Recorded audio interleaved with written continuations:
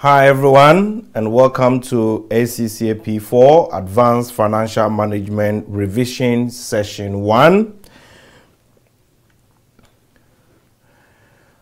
On the screen you can find the um, revision sequence and for the first session which is from now till um, 4.45 UK time we are going to look at investment appraisals so I have picked two big questions on investment appraisals as you can see. So I have picked Burrang Co, which is June 2014, question number two. And then Yilandwe, which is June 2015, question number one. The Burrang Co is in relation to adjusted present value, and there is that strong belief that there should be a very good question on adjusted present value this time because the last time that was tested was the June 2014. So watch out for that. Then I've also picked international investment appraisals, which was tested in June 2015.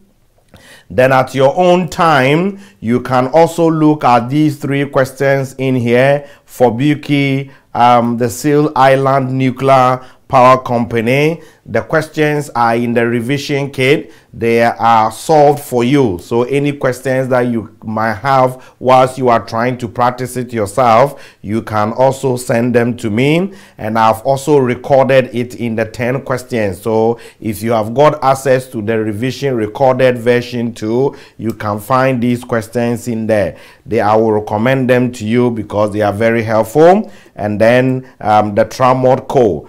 So now within this um, 2 and 45 minutes, we're going to solve these two questions in investment appraisals. So I am just going straight to um, June 2014 question number 2, which is Burrang Co. Okay. So this is the question Burrang Co. It was a 25 marker question. Okay, let me put you straight into the exam room. If you go to the exam room and you will have to solve any question, my recommendation is that you don't read the scenario first because the scenario is based on the requirement that the examiner want to test you on. So the idea is it will be better for you to go to the requirement, read the requirement, analyze the requirement, know what you are expected of doing so that when you come and you are reading the scenario you will be in position to indicate the necessary information you need to answer the requirement in front of you and uh, in addition to whilst you are indicating the necessary information i don't recommend students to highlight using the highlight pens. Because when you highlight let's say this bit what is it telling you it doesn't tell you that there is cost of capital there there is maybe number of years there all what it tells you is that oh, there's some information in there that you might need and when you start solving the question you would have to go back to go and read the whole scenario again and time will not allow you in P4 to do that. So I normally recommend that you use your normal pen. Whatever you will read in a particular paragraph, you indicate as to what sort of information can be obtained from that particular paragraph rather than you highlighting. Some of you end up highlighting the whole question because the whole question is really, really important in solving the requirement. So we are going to apply it we're going to apply it straightforward. So if this question is in front of me and I would have to answer, then I will go straight to the requirement first and I will read the requirement and upon that I will indicate whatever necessary information that um, I require. So let's go. Required A. Calculate the adjusted present value for the project correcting any errors made in the net present value estimate above and conclude whether the project should be accepted or not. Show all relevant calculations. question is clear for 15 marks. We have to analyze this question to know what we are expected of doing. Sometimes a requirement, for instance, requirement A is there for 15 marks, but you are not expected to do only one thing. You are expected to do more than one thing, some of the questions. So when you come here, if I read the question, question is very clear. I should calculate, calculate the adjusted present value of the project. This is one bit of the requirement A. So I have to calculate the adjusted present value for the project. As part of it is telling us correcting any errors made in the net present value estimate above. It means when I go up, I would have to see mistakes in the calculation of an NPV and conclude whether the project should be accepted or not. So that is the bid. So when I pick the NPV, I have to make those corrections in order to calculate the APV. And when I finish calculating the APV, I would have to conclude as to whether the project should be acceptable or not. And the question is telling me to what? Show all relevant calculations. Marking scheme, which is for this 5, 15 marks, is going to allocate that 15 marks on the basis of have you calculated the APV and whilst you were calculating the APV did you do the corrections? And then did you conclude as to whether the project should be acceptable or not? And then the last one is that you need to show your workings. Full stop. The B requirement for the 10 marks is saying this okay? Is saying this comment on the corrections made to the original net present value estimate and explain the APV approach taken in part A, including any assumptions made. Here too is the same thing. Comment on the corrections made to the original net present value estimate. That is one bit of the requirement B. And explain the APV approach taken in part A. That is the second bit of the question.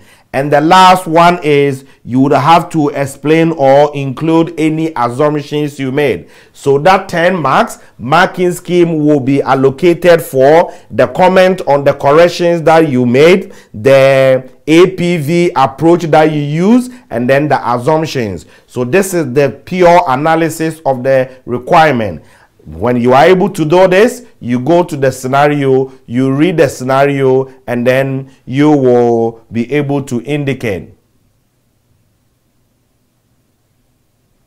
Okay, no, the recorded the recording version is not the same as the live. Okay, it's not the same as the live. I've recorded um 10 questions. I think maybe you were talking about the um, the promotion one. I've recorded 10 questions that Mariam, you are entitled to have a look at them. Okay, so that is the case. So now let's go to um, Burange Co. Let's go to the Burange Co. You have recently commenced working for Burange Co. and are reviewing a four-year project which the company is considering for investment. The project is in a business activity which is very different from Burange Co's current line of business. Okay. The following net present value estimate has been made for the project. All figures are in dollars, millions, year zero up to year four. Sales revenue direct project costs, interest, profit, tax 20%, investment, sales, cash flows, discount factor, present values. Net present value is negative $1.65 million and therefore the recommendation is that the project should not be accepted. In calculating the net present value of the project, the following notes were made. Since the real cost of capital is used to discount cash flows, neither the sales revenue nor for direct project costs have been inflated. It is estimated that the inflation rate applicable to sales revenue is 8% per year and to direct project costs is 4% per year. What do I get from this paragraph? I see inflation, inflation for sales, and then variable costs. I indicate that. Next, the project will require an initial investment of 38 million. Of this, 16 million relates to plant and machinery, which is expected to be sold for 4 million when the project ceases. After taking any taxation and inflation impact into account. So what do I see in this paragraph? I see initial investment and I see residual value. I indicate them. Next, tax allowable depreciation is available on the plant and machinery at 50% in the first year, followed by 25% per year thereafter on a reducing balance basis. A balancing adjustment is available in the year the plant and machinery is sold. Burand Co. pays 20% tax on its annual taxable profit. No tax allowable depreciation is available on the remaining investment asset and they will have a nil value at the end of the project. So what we see here? We see capital allowance. We also see tax rate of Buranj. Okay, so we move on. Burand Co. uses either a nominal cost of capital of 11% or a real cost of capital of 7% to discount all project given that the rate of inflation has been stable at 4% for a number of years. So this is real and then nominal. Discount factors. Okay. V. Interest is based on Buranj Co's normal borrowing rate of 150 basis point over the 10-year government yield rate. So this is, um, if I have to say, this will be Buranj word spread because we said the interest that you pay, your cost of debt is the base rate plus your spread. And according to this question, Buranj code normal borrowing rate is 150 over the 10-year government word rate. So I will say this is Buranj spread for its normal debt. At the beginning of each year, Buranj Co. will need to provide working capital of 20% of the anticipated sales revenue for the year. Any remaining working capital will be released at the end of the project. Okay, so we're going to have this one to be um, working capital. Working capital and depreciation have not been taken into account in the net present value calculation above since depreciation is not a cash flow and all the working capital is returned at the end of the project. So this is working capital and depreciation. Okay. It is anticipated that the project will be financed entirely by debt, 60% of which will be obtained from a subsidized loan scheme run by the government which lends money at a rate of 100 basis point below the 10-year government debt yield rate of 2.5%. Issue costs related to raising the finance are 2% of the gross finance required. The remaining 40% will be funded from Buranj Co's normal borrowing sources. It can be assumed that the debt capacity available to Buranj Co is equal to the actual amount of debt finance raised from the project. So here, what do we see? I see subsidized loan. I see um, normal loan. And then I see issue costs. You indicate all of that. Buran Co. has identified a company, Lintuco, which operates in the same line of business as that of the project it is considering. Lintuco is financed by 40 million shares, trading at 3.2 each, and 34 million debt, trading at 94 per 100. Lintuco's equity beta is estimated at 1.5. The current yield on government treasury bills is 2%, and it is estimated that the market risk premium is 8%. Lintuco pays tax at an annual rate of 20%. So I'll say this is the proxy. This is the proxy because they are using Lintuco as a way of calculating their betas or cost of capital. Both Buranco and Lintuco pay tax in the same year as when profit are earned. I have to calculate APV. The understanding of the question here is that somebody calculated the NPV wrongly. So we are going to use these figures, make the necessary adjustment, and then we will use it to calculate APV question is very clear. I would have to calculate APV. So my question to myself first is, how is APV calculated? For the sake of we, we revising, let me bring you to the level. When I was teaching the APV, I gave you a very simple flow.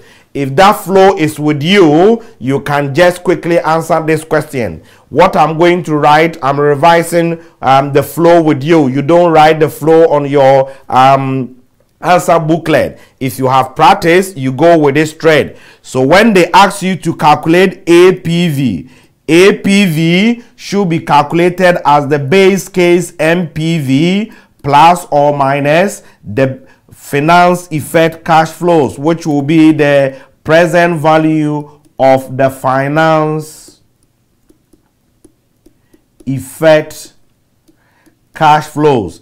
How do we calculate the base case NPV? We said to calculate the base case NPV, to calculate the base case NPV, I need my relevant net cash flows and those relevant net cash flows are supposed to be discounted using cost of equity in all equity situation and then I will also think about the PV of the finance effect. How will I get the cost of equity and geared? It depends on the question. All, all of them depends on Miller and Modigliani. Have I been given cost of equity of the proxy? If the cost of equity of the proxy company is given, then I will need proposition 2 which says that the cost of equity of the geared is equals to cost of equity of the ungeared plus the cost of equity of the ungeared minus cost of debt multiplied by debt 1 minus t divided by e. Okay, then if the WACC of the proxy is also given and is geared, we would have to ungear it. And we said the WACC of the geared is equals to the WACC of the ungeared multiplied by 1 minus dt divided by e plus what d.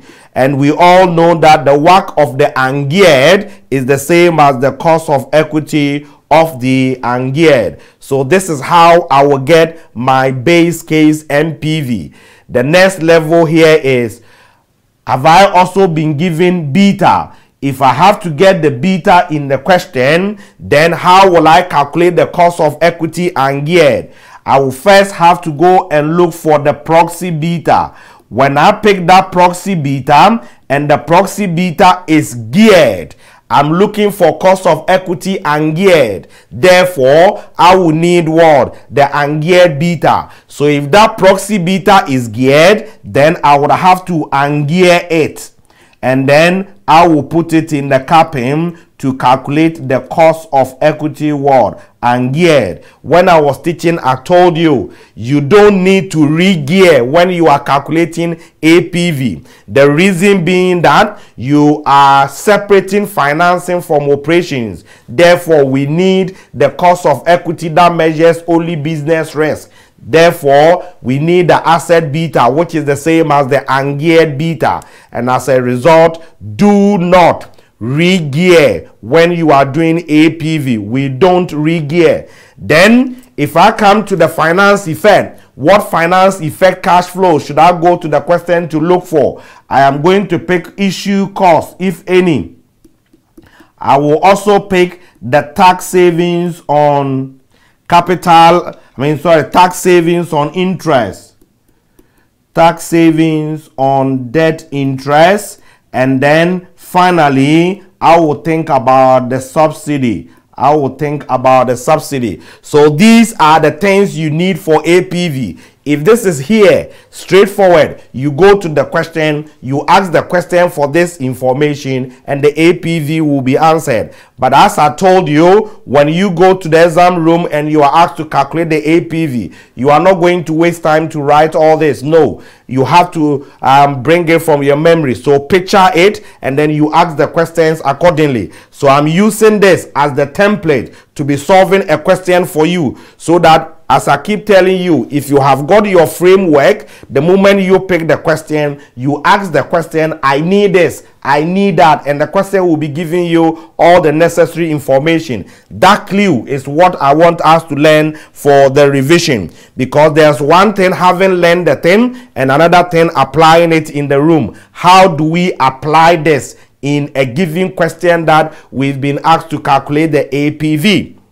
Okay, so now let's go back to the question and then we will be able to calculate the APV.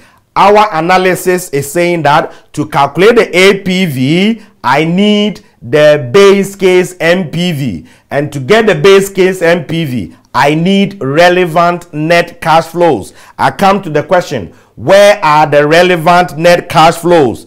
Somebody had calculated the NPV wrongly. He used what? Sales revenue.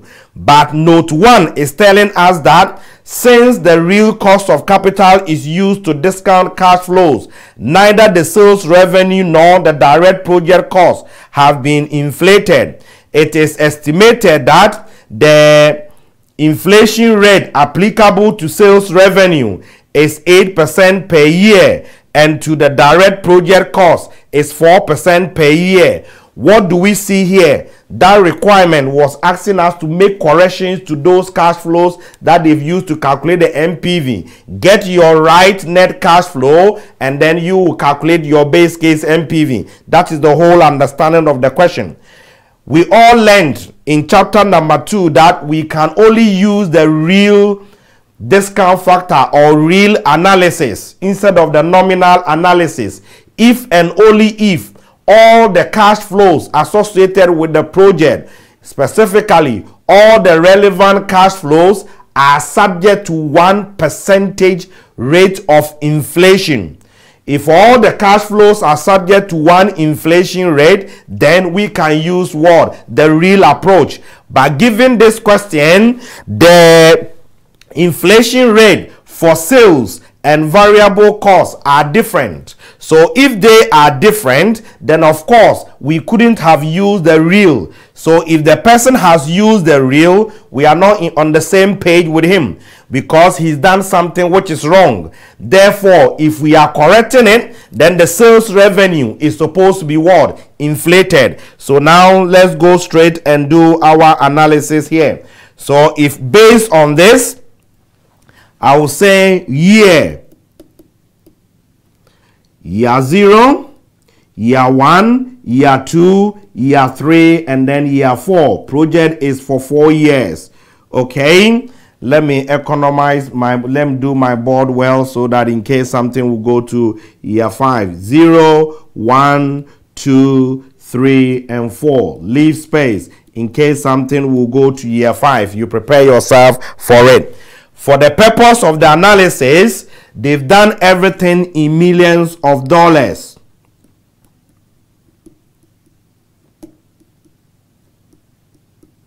Okay, we're going to start with sales.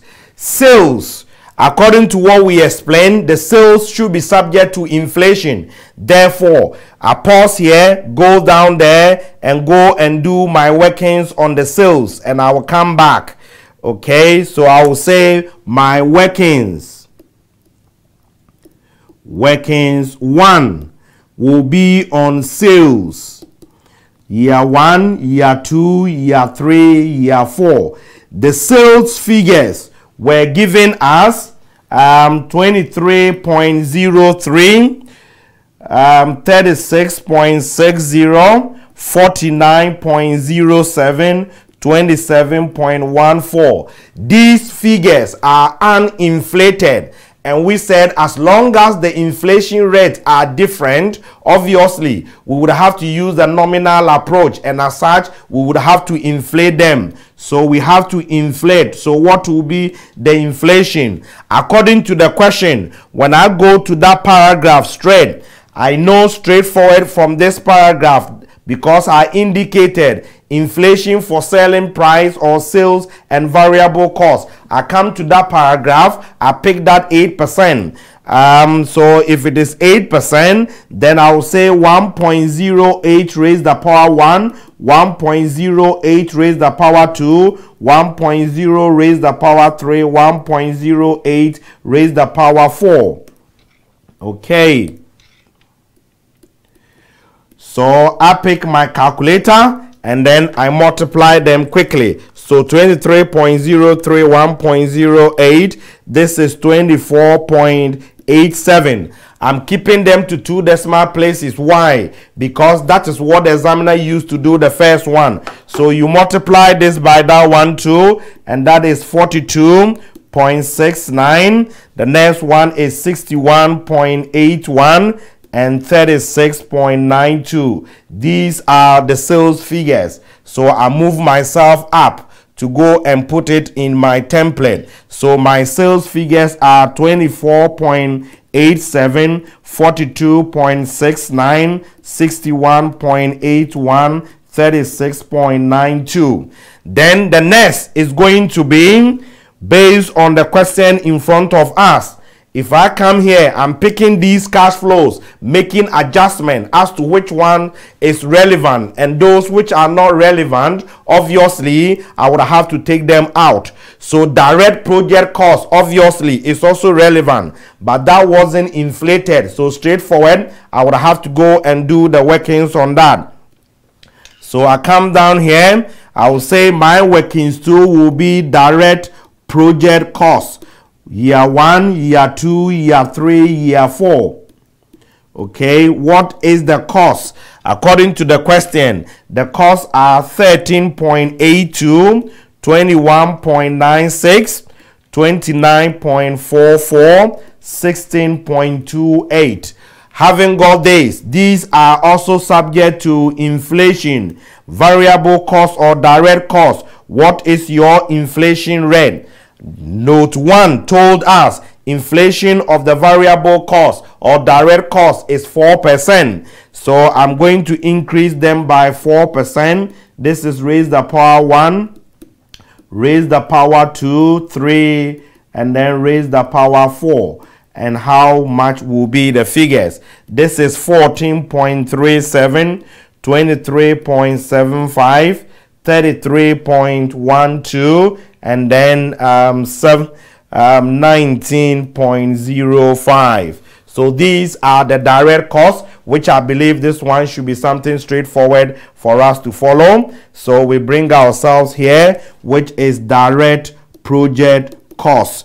And I've got 14.37 minus 23.75 minus 33.12 and then 19.05 minus.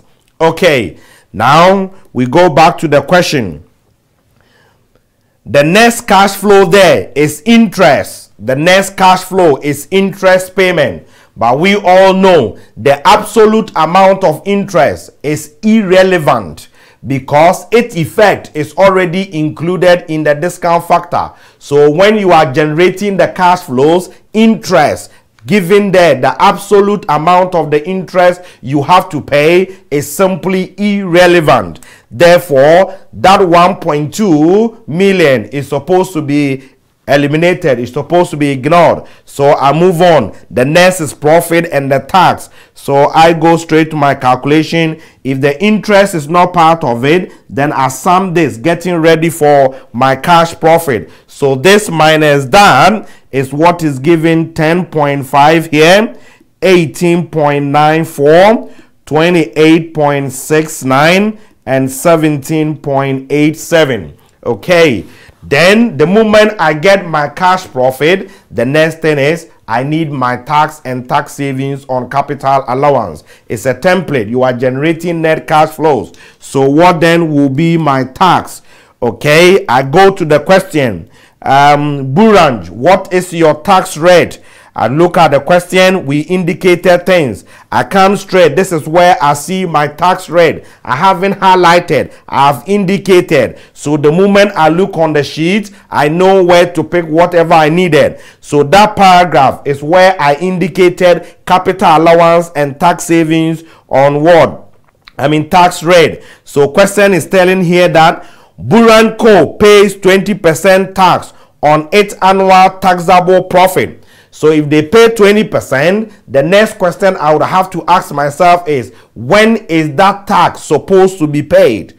When is that tax supposed to be paid? Look at what the examiner did. He brought the, the, the year in which the tax is supposed to be paid on the following page. So if you are not able to indicate, you'll be reading and you wouldn't know. And because you are behind time, you'll be forced to make your own assumption. That is the reason why I advise you the moment you read, you would have to indicate. So here is telling us both Burung Co and Lintu Co pay tax in the same year as when profit are earned. So they are paying 20% in relevant years. When I was teaching, I brought your mind on. When you pick the tax rate, naturally you need to ask the question again. When do you want me to pay it? Because we are dealing with cash cash flows and then we need the receipt and payment when is the money supposed to be paid and when is the money supposed to be what received so this one is 20%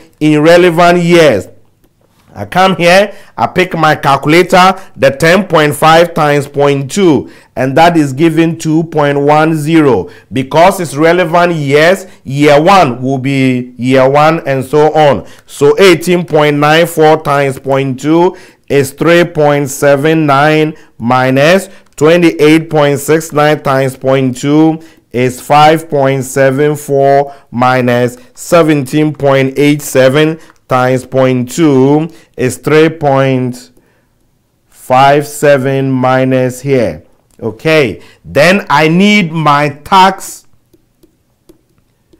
savings on capital allowance.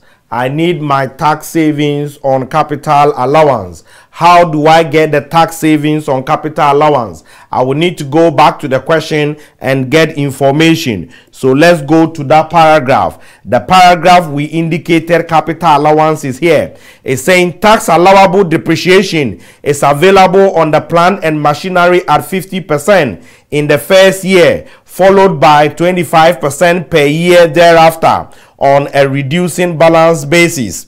Okay on a reducing balance basis. A balancing adjustment is available in the year the plant and machinery is sold and then the tax rate comes in. No tax allowable depreciation is available on the remaining investment asset and they will have a nil value at the end of the project. So the capital allowance is 25% uh, sorry 50% in the first year and 25% thereafter on the plant and machinery. Therefore, I will need the cost of the plant and machinery. So let's go straight to where we can find the cost of the plant and machinery. And then that is what we indicated in note 2, initial investment and residual value. So I go straight to that um, note read, refresh my mind, pick it, and move on. The project will require an initial investment of 38 million. Of this, 16 million relates to plant and machinery, which is expected to be sold for 4 million when the project ceases after taking in any taxation and inflation impact into account. So the plant and machinery cost is 16, having residual value of 4, reducing balance is 50 for the first year, 25% for the subsequent years. So I go here and then I need to do my workings on the capital allowance. So I come down here, my workings 3 is going to be tax savings on capital allowance. Tax savings on capital allowance.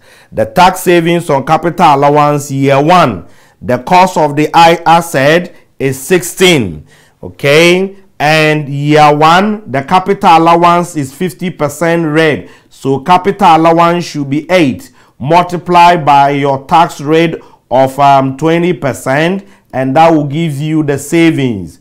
I'm putting these ones here just for the sake of teaching. In the exam room, nobody needs the heading. Move on. So this one will give us 1.6. When I come to year 2, the 16 minus the capital allowance of 8 will bring the reduced balance to 8 and then multiply by 25% reducing and I'll multiply by the tax rate straightforward and what will I get? So 8 times 0.25 times 0.2 and that is giving me 0.4 because subsequently it will reduce by 25% it should reduce to 75% so here I will say the 0.4 multiplied by the 0.75 because subsequently it's reducing by 25% it should reduce to 75% so that's 0.4 times 0.75 and this will give me 0.3. Year 4, if you remember, we said it should be the difference. And that difference is that you bought the asset at 16, it has got a residual value of 4. Therefore, the qualifying expenditure is 12 and then your tax rate is what? 20% therefore the total balance or total benefit you will get will be 12 times 0.2 which is 2.4 but you have already claimed these so deduct from that. So minus 1.6 minus 0.4 minus 0.3 and that is given 0.1 and these are the tax savings on the capital allowance. I move myself up. Okay so tax savings on capital allowance because tax is paid in the relevant years then obviously the savings will also happen in the relevant years. So the first year we said is 1.60 second is 0 0.4 0 0.3 and then 0 um, 0.1 Okay, then the moment I finish my tax savings on capital allowance, I have to think about my capital items, which will include initial investment, residual value, and working capital, if any. Okay. So straight, let's go to the question and we ask, we need initial investment. Where did we indicate initial investment? I come to that paragraph. They said the total investment is 38 million of which 16 million is the plant and machinery that is fine. I needed the total. So total is 38 million and there is a residual value of uh, 4 million for the plant and machinery. The other one they said it will have no residual value. If you come down here to um, note 3 so therefore i will say my initial investment in year 0 should be equals to 38 million my residual value of the plant and machinery should be what the 4 million so this is how the movement is supposed to be then I will move to the next. I ask the question, have you got working capital? Because I have got my template. So I'm asking question, I need this, I need that. Have you got working capital? If you have got it, I deal with it. If you haven't got it, I move on to the next. So I ask this question Have you got working capital? Yes. When we were indicating, we saw working capital here. And he's saying that at the beginning of each year, Burung Co. will need to provide working capital of 20% of the anticipated sales revenue for the year. Any remaining working capital will be released at the end of the project. Okay, so that is the case. When the trainee or whoever who prepared the NPV was actually calculating the NPV. His argument is working capital and depreciation, that is note VII. Working capital and depreciation have not been taken into account in the net present value calculation above. Since depreciation is not a cash flow item and all working capital is returned at the end of the project, we can't accept that. When we go to the B, we will write it. But working capital cannot be totally forgotten about it because we have to bring the uh, working capital for each year. Because of time value of money, it has got different implications. Therefore, we would have to go and think of solving the working capital. So I will come and write working capital here and leave space. Come down here. And I will say workings for is in relation to working capital. Year 0, 1, 2, 3, and then 4. Okay, what is the working capital? Question is telling us that the working capital here, the work at the beginning of each year, Burung Co will need to provide working capital of 20% of its anticipated sales revenue for that year. Okay, so I will say my working capital at beginning of a year is 20% of the sales for that year. So let's come here. What are the sales figures for the year? We did the sales calculations here and then we've got these figures. So let's bring the sales figures. They are 24.87, 42.69, 61.81, 36.92. These are the sales figures. As a matter of fact, in the exam room, I will encourage you to write these figures because you see them there. I'm teaching and I want you to see what I'm going to do. Okay? So therefore, what will be the total working capital? What will be the total working capital? Okay, so the working capital, according to the question, is 20% of the sales figure for that particular year. Okay, working capital at the beginning of the year is 20% of the sales for that year. When I was teaching the number of years, I explained to you that when we say year zero, it's not a year. Year zero is now. Year one is not a year. Year one is 12 months after this period. So beginning of year one is year zero. And the end of year one is year one. I told you, you can use your, your age. The day you are born, you are year zero. That is the beginning of your one year life. The day you celebrate your one year birthday, that is the end of your one year. The next day, you are beginning your year two. So the year one becomes the beginning of year two. Year two becomes beginning of year three, and so on. So if 20% of the sales for year one is supposed to be put at the beginning of year one as working capital, year one beginning of it is year zero. So I will find 20% of this, 20% of that will give you 4.97. 20% of that will give you 8.54. 20% of that will give you 12.36.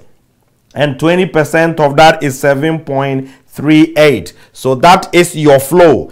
So if I have to trace them for you, this is how it should be okay? And technically you are not putting any working capital in year four because if you put it at the end of year i mean year four which is the beginning of year five you are telling me we need to finance the operations of the project for year four to year five project will end at the end of what year four. So i don't need to put any working capital at the end of the year four. The project is actually season these are the total working capitals. What do we need? We need the relevant cash flows. So we need the incremental cash flows. So what will be the cash flows? Initially i put in 4.97 which is a minus figure.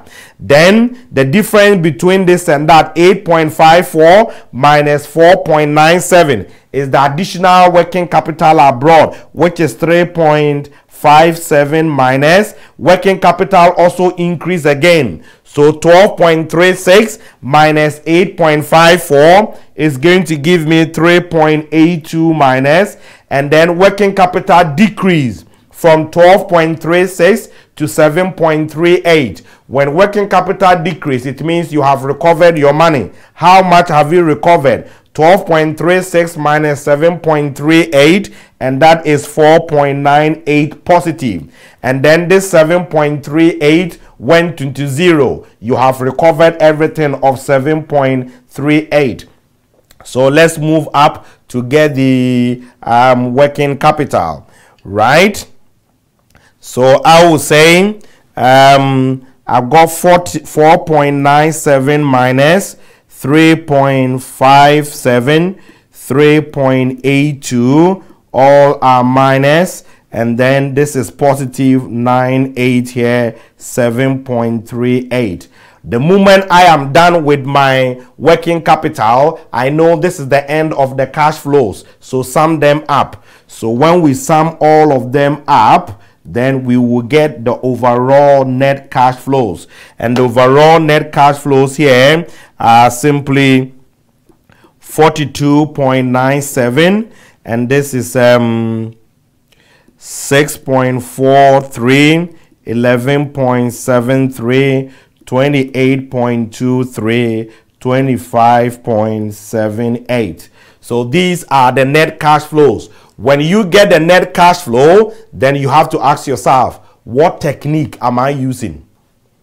Am I using APV? Am I using NPV? If I'm using APV, then I need the cost of equity word and geared. This is where my focal point is. Be with me here. This is where my focal point is. That is where I'm watching. So I've got my relevant net cash flows. Now I need my cost of equity ungeared. If I need the cost of equity ungeared, then I need to ask the question, how do you want me to calculate it? Have you given me a proxy company? And that proxy company you gave to me, did you give me its cost of equity? Did you give me its work? Or did you give me its beta? The question will give you the answer. So let's go to the question and ask that question. The proxy you gave to us, did you give cost of equity? Did you give beta? Or did you give what? WACC? And we indicated proxy here. They said Burung Co. has identified a company, Lintu Co., which operates in the same line of business as that of the project it is considering. Lintu Co is financed by 40 million shares trading at 320 each and 34 million debt trading at 94 per 100. Lintu Co's equity beta is estimated at 1.5. Okay, so the proxy, they gave it what? Beta. So if they gave the beta, then I'm going to bring myself to this level. Okay, so if I've given a beta, I need that proxy beta. Ask the question, proxy, proxy beta, are you geared? If you are geared, I would have to ungear and put it in the CAPM. So this is what we're going to do down there as our workings. So I come here, workings 5. I come here, workings 5. Cost of equity ungeared. And that cost of equity ungeared, I'm going to say that I need a proxy beta. And that proxy beta, according to the question, is 1.5. This proxy beta, are you geared or are you ungeared? The question said that 1.5 is equity beta. Note it. It said equity beta. Equity beta could be geared or ungeared. So once it's equity beta, it will be geared if I am picking it from a company which is geared and this company Lintu is having debt. So if it is having debt and it is geared, then its equity beta is geared. Okay, so I would have to say you are a geared beta. If you are a geared beta, my principal is telling me I would have to ungear. And according to Miller and Modigliani, the ungeared beta which is the asset beta, is equals to the equity beta geared equity over equity plus debt 1 minus t. So, because this beta is for Lintu, I have to get Lintu's equity and Lintu's debt and Lintu's what? Tax. So, what is Lintu's equity? According to the question, Lintu is having what? shares of 40 million at the price of 320 so i'm going to have um, 40 multiplied by the 320 and how much am i going to get? 40 times 3.2 which is 128 what about its debt we go back to the question. Question is telling us that it has 34 million um, debt with a market value of 94 per every 100 34 9400 okay so it debt will be 34 multiplied by 94 don't forget to divide by 100 so 34 times 94 divided by 100 which is 31.96 and as such i will be able to say that the asset beta should be equals to the 1.5 multiplied by equity is 128 128 plus 31.96 into bracket Lintu. What is your tax rate? According to the question, Lintu also pay tax of 20%. Sometimes you would have to be okay. The question is um, loud and clear. The question is um, June 2014, question number two. Okay, Burung Co. Burung Co. June 2014. 14. Question number 2. Okay. Right. So we move on. So 20% you need to check. Sometimes some of the questions will tell you the proxy company's beta, I mean tax rate is different from the other company's tax rate. So check it here is 20%, 20%. So here will be 80%. So I am going to say that um, 0.8 times 31.96 plus 128 um, reciprocal of that times 1.5 times 128 and that is giving me asset beta of 1.25 okay so if it is 1.25 once it's apv no need to re-gear. So i will say my cost of equity and gear will be the risk free. That beta asset uh, market return minus the risk free. I go to the question where is the risk free rate Okay, if you come to that same paragraph here, proxy, they gave us the risk-free rate and market return. The current yield on government treasury bills is 2% and it is estimated that the market risk premium is 8%. So 2 and 8. So I'll say this is 2% plus the beta of 1.25 and then the market risk premium, meaning they have already deducted the market return minus the risk free. So what then is the cost of equity ungeared? 1.25 times 8 plus 2 and that is 12%. So if the cost of equity and geared is 12%, then I move myself up. Okay, I move myself up. I will say discount factor here is 12%. This is one. 12% year one is 0 0.893, 0 0.797, 0 0.712, 0 0.636 and then you multiply that. So this is 42.97. This is um, 5.74, 9.35, 20.10, 16.40 and what then will be your base your base case NPV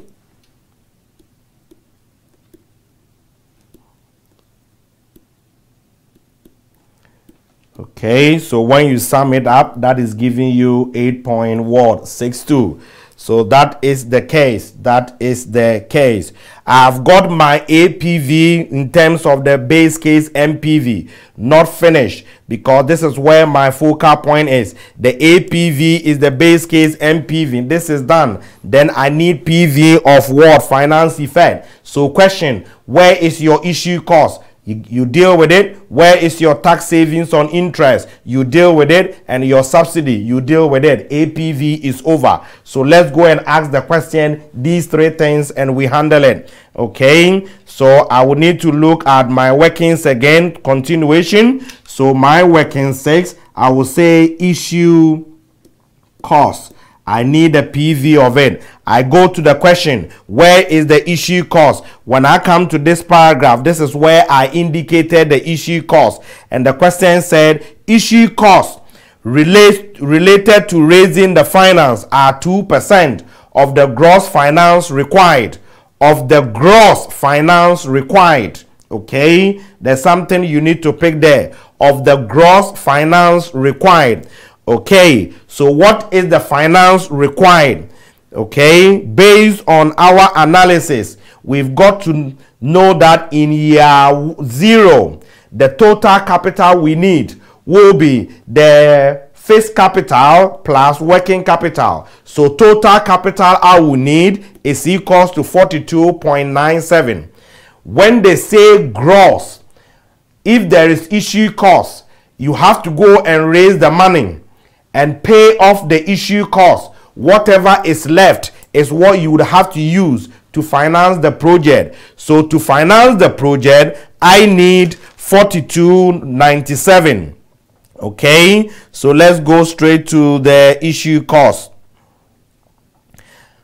I need 42.97. Um, this is what I need.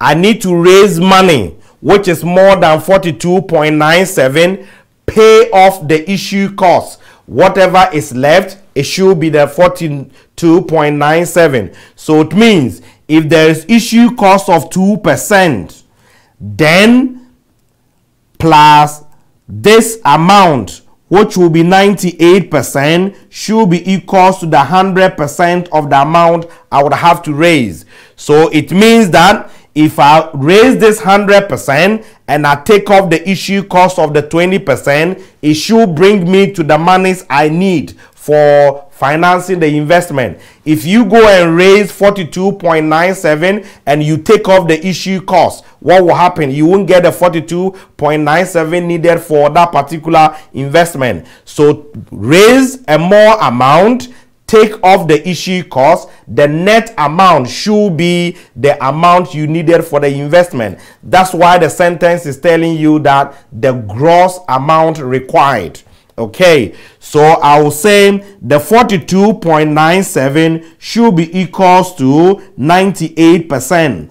Therefore, if I need issue cost of 20%, how much is it going to be? Isn't it 2 over 98 multiplied by 42.97? And how much will be the issue cost? 2 divided by 98 times 42.97 and that is given 0.88. So the issue cost is 0.88 but this is a cash flow that is happening now because you have to raise the money now and the point that you are raising the money that is when you would have to actually pay the issue cost so the issue cost is happening in year zero it, the present value of any cash flow in year zero is obviously that same cash flow. So the PV of the issue cost is simply going to be 0.88. I am done with it. I bring myself up here. Okay, I'm calculating my um, APV. I've got the base case NPV. So I need the PV of what? Finance effect cash flows. I've got the issue cost. PV of issue cost is simply 0.88. Nobody should tell you it should be minus because it's issue cost you are paying. I will also need to ask, is there any tax savings on interest? Is there subsidy? When I do the calculations, come and put them there, sum them, and my APV is out. So let's go and sort out tax savings on interest. So I say my working seven, my tax saved on interest.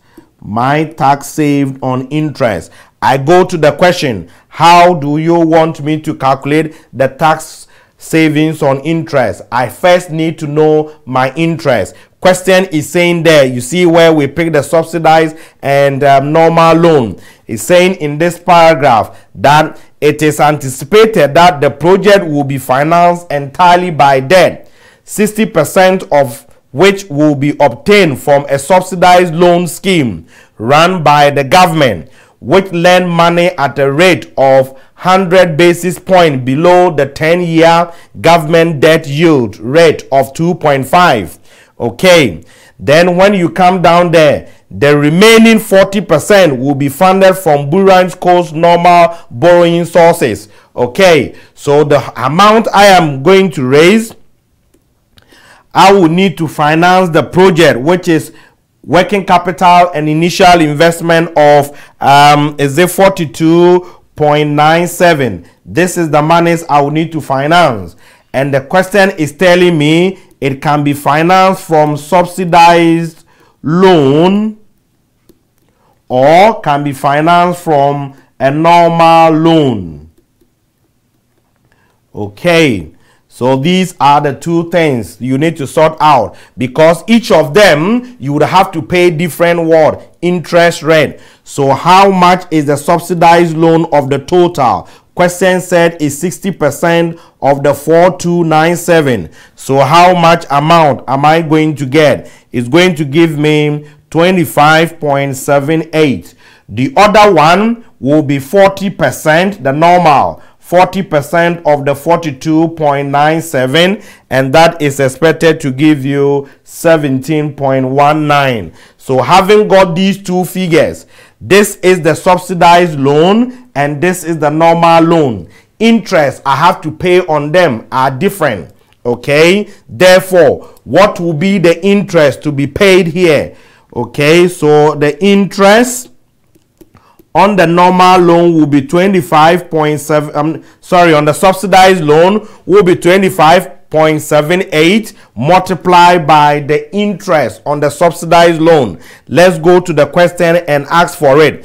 Question is saying that 60% um, of which will be obtained from subsidized um, loan scheme run by the government which lend money at a rate of 100 basis point below the 10-year government debt yield rate of 2.5. 100 basis point means 100 divided by what? 100 which is what? Um 1% so 1% below the 2.5% obviously should bring me to 1.5% so i will say the rate here will be 1.5% so i pick 25.78 times 1.5 divided by 100 that is 0. Point approximately 39 then what will be the interest here? 17.91 multiplied by what is the interest we pay on our normal loan? Let's go and ask the question. Question is telling us here okay? We indicated the spread. He said interest is based on Burung Co's normal borrowing rate of 150 basis point over the 10 year government yield rate. So 150 basis point over. So it means 1.5 percent above the government 10 year loan rate and the government debt yield for 10 years they said is what 2.5 so 1.5 percent above means 2.5 plus that 1.5 so that will give me about 4 percent and what is the 4% there? So I will say 17.19 times 0.04 and that will be 0.69. So what is your total interest? My total interest will be the 0.39 plus 0.69. So 0.69 plus 0.39 and that is 1.08. So what will be the tax saved? The tax saved will be the 1.08 multiplied by the tax rate of 20% times 0.2 will give us 0.216. So having got this 0.216, I will save this tax for the life of the project. And the project is for how many years? Four years. So what will be the PV? Because tax is paid in relevant years, I will have annuity year one to year four, isn't it? and the issue is that PV should be 2 0.216 multiplied by what annuity factor do we need? This is the point you have to be with me. What annuity factor do we need? APV could not tell us what discount factor we should use to discount the cash flows associated with the finance effect. So we APV made the assumption that we can either use the risk-free rate or cost of debt. Whichever you will use in the exam room, just state your assumption. I'm discounting it using what? Cost of debt or the risk-free rate. Whichever you will use is absolutely perfect for the examiner because that is one of the major criticisms of what APV. So straightforward, I am going to say that I'm assuming the cost of debt of 4%. Somebody could have used the risk-free rate of 2%. Somebody could even have used what? Um, the base rate of long-term government rate of 2.5. APV couldn't tell us, so it's your choice. But what you have to do here is, whichever you use, please state to the examiner the one that you use. So I will take um, annuity factor of 4% what? Four years. Okay, so when I go there, annuity factor 4% four years. That is my assumption. I'm using the cost of debt. As I said, you can also use whatever you want. So 4% four years is going to give me 3.630 and as such the PV will be 0.78 million. I'm up, I am done with the interest tax savings on that particular interest. The next one is, you see, this is where my focal point is. If my focal point is here, I know what I'm going to ask next. I've done issue costs, I've done tax savings on interest. I'm going to ask the question, have you got subsidized loan, which is a cheaper loan that is going to save me money? We saw subsidized loan. So let's deal with that subsidized loan and the APV is out. You see the pace the examiner will expect you to be moving. So it's not something that you are going to hesitate. Or oh, what is the principle saying? What is the principle saying? You have to be flowing. Okay. So now let's go to the last working, which is workings 8. And workings 8 will be PV of, I normally want it to sound this way. PV of net subsidy Okay. According to the question, you can infer from here. According to the question, the analysis we did with the um, tax savings on interest, we have to borrow money normally. We also have to borrow from a subsidized um, loan from the government. And that subsidized loan, we are paying interest of 1.5% on the normal loan, we paid interest of what? 4%. So the government loan is saving us money of the difference between these two.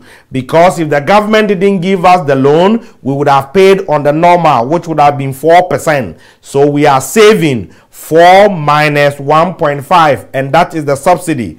But don't forget, the moment you don't pay interest, you pay less interest what will happen? Your taxable profit will increase. And when your taxable profit increase, obviously you would have to pay what? More tax. So you don't save everything. You save net of tax. So I will say the subsidy will be the 4% minus the 1.5. We are saving, is it 2.5%? But technically, this 2.5, we don't save everything because of the tax effect. The tax rate is 20%, net of it will be 80% and multiply by what is the loan amount. The loan amount for the subsidized loan is what we are seeing here as the 25.78. So 25.78 and this is my savings. 2.5 times 0.8 times um, uh, 25.78 all divided by 100 and that is 0 0.5 um, I would say about 0 0.516 okay then I need the PV I'm saving this year 1 to year 4 because we assume this 4% as the discount factor. Obviously we should be able to do that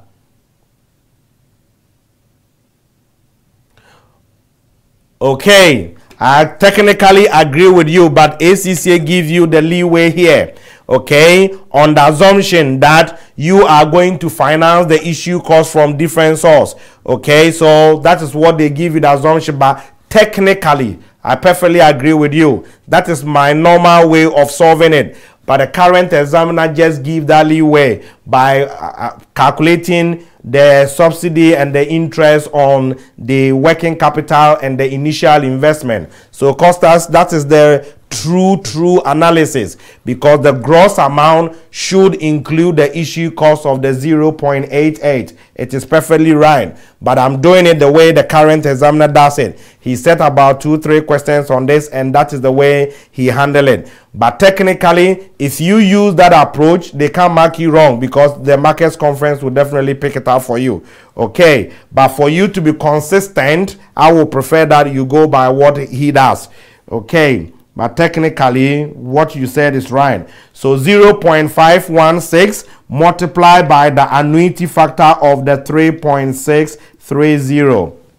Okay, so 0.516 times 3.630 and that will give us 1. Point, um, 1.8 1.87 um, so that is the case so when I get 1.87, then I will say what will be the APV. Now let's put the figures. This is 0.78, 1.87. So I'll go up there because I've got my base case NPV in there. I've got my issue cost. So what is the PV of tax saved on interest?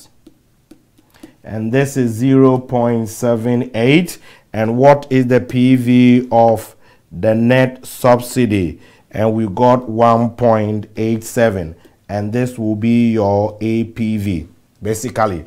Okay? So I will say 8.62 minus 0.88 um, plus 0.78 plus 1.87 and that is 10.3 watt 9 because the apv is positive you say you would have to what accept the project. Because question told us to do so. Okay point of attention you're not going to write this to the examiner. You have to write it in a sentence. Because the APV or the project is financially acceptable as the APV is positive as the APV is positive don't just go and do it this way I'm teaching that's why I said it in a sentence the project is financially acceptable because the APV is what? Positive. Or since the APV is positive, the project is financially acceptable. So that is the A. That is the A. I've told you watch out for APV this time. Now let's go to the B. And what are we supposed to do to the B? Comment on the corrections made to the original net present value. Explain the APV approach taken in part A including any assumptions made. Okay, so now let's go and comment on the corrections that we've made. So I'm going to create three headings. I'm going to create three headings because I see three questions in this requirement. So I will create this heading. I will also create the approach and I will also create the assumptions. Okay marking scheme will allocate the marks like that. So if you're able to do them on heading by heading like this, you make life very comfortable for yourself and for the marker too as well. So I will say the B. Let's go to the B straightforward. Okay, so when I go to the B, we're going to say that one, corrections made. What corrections have you made? If you remember, we said that interest is not a cash flow item, it's irrelevant because its effect is included in what? The cost of capital. So you tell the examiner one correction you did is that interest payment is not a relevant cash flow as its effect is included in cost of capital. Two, what else did we do? No, Mike, we are not supposed to calculate the NPV again in part A. No, we are not supposed to calculate the NPV again. The calculation was, or the question was, to calculate APV by correcting that NPV. That's exactly what happened. The wording actually confused some people. The question was calculate the APV by correcting that NPV mistakes that they did because to get the APV you needed what? The, the net cash flows. And those net cash flows are from the net cash flows that were used to calculate what? The NPV. so the A no requirement for you to calculate the NPV. okay? That would have been absolutely an abnormal question for that um, how many marks. You cannot calculate the whole APV and then for 15 marks. No possible way. Okay right Okay, the wording. See, he wanted to say APV for the project by correcting those cash flows. Brilliant. Right, so what correction did we do again? What correction did we do again? If you come up here, we did so many other corrections. Question told us that sales and variable costs were not inflated because he's going to use the real cash flows. And as we criticize, you can't do that. You can only use the real approach if the inflation rate for all the cash flows are the same. So we will say that um, the real approach could not be used because of different inflation rates for sales and variable costs. So we have to use the nominal approach as we did. What again, if you go to the question, so many things in there. Question also said that um, depreciation, if you come here, he said working capital and depreciation have not been taken into account in the net present value calculation above since depreciation is not a cash flow and all the working capital is returned at the end of the project. Of course, he is right to say that we do not have to include depreciation because depreciation obviously does not involve what movement of what um, cash. So it's irrelevant. However he forgot to bring in the tax savings on capital allowance. So watch out. Okay so let's tell the examiner um, excluding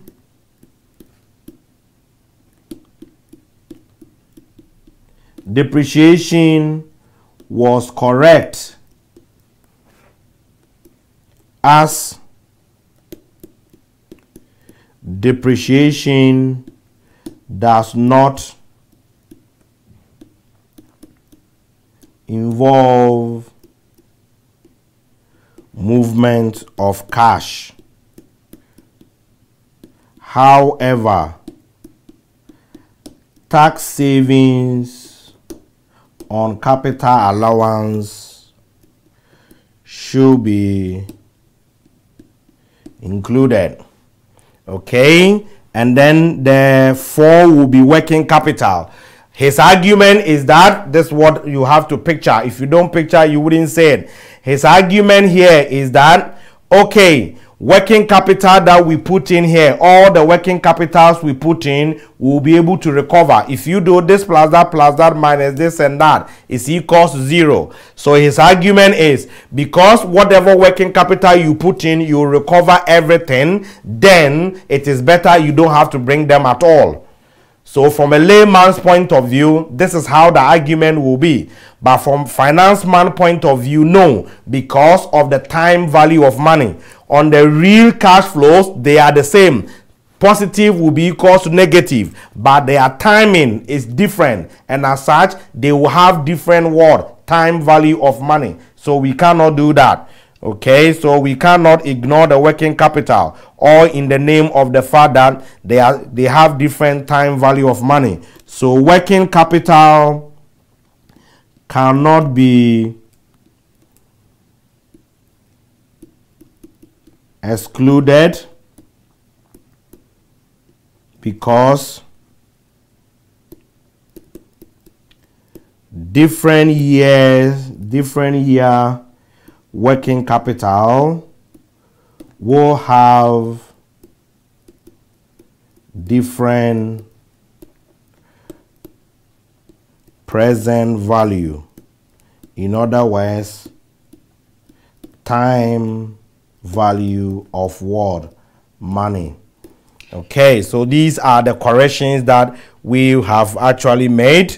And the next question is what is the APV approach? Am I supposed to say anything here? This is why I took the time to explain how to calculate APV. How will you calculate the APV? Straightforward. This is what you need.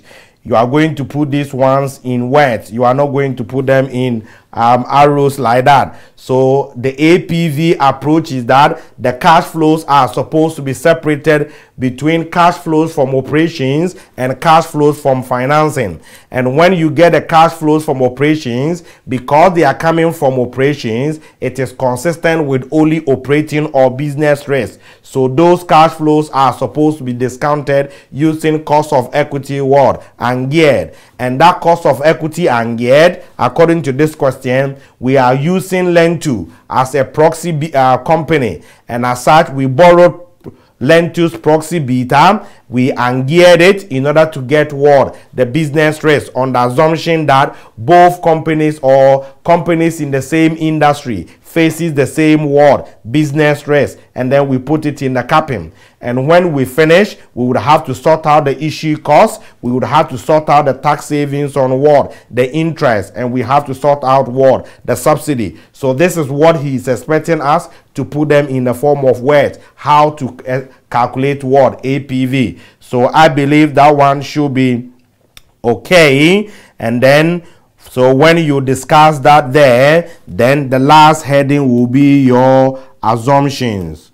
And what will be the assumptions here? What do I normally tell students? Assumptions questions coming every mark attributable to it you would have to pick it straightforward assumptions are not anywhere assumptions are in front of you so first one look at what you've done the APV that you calculated, how did you calculate it? You use number of years, you use relevant cash flows, you use cost of equity and geared, you use issue cost, you use um, tax savings, you use what? The subsidy. What assumption did you make across board? The first assumption that we can make here is that the cash flows that we use, sales and then direct costs, and they are inflation rate, all of them are subject to what? Um, being accurate. Okay, so I normally summarize it for students. Talk about the cash flows. So here I will say sales,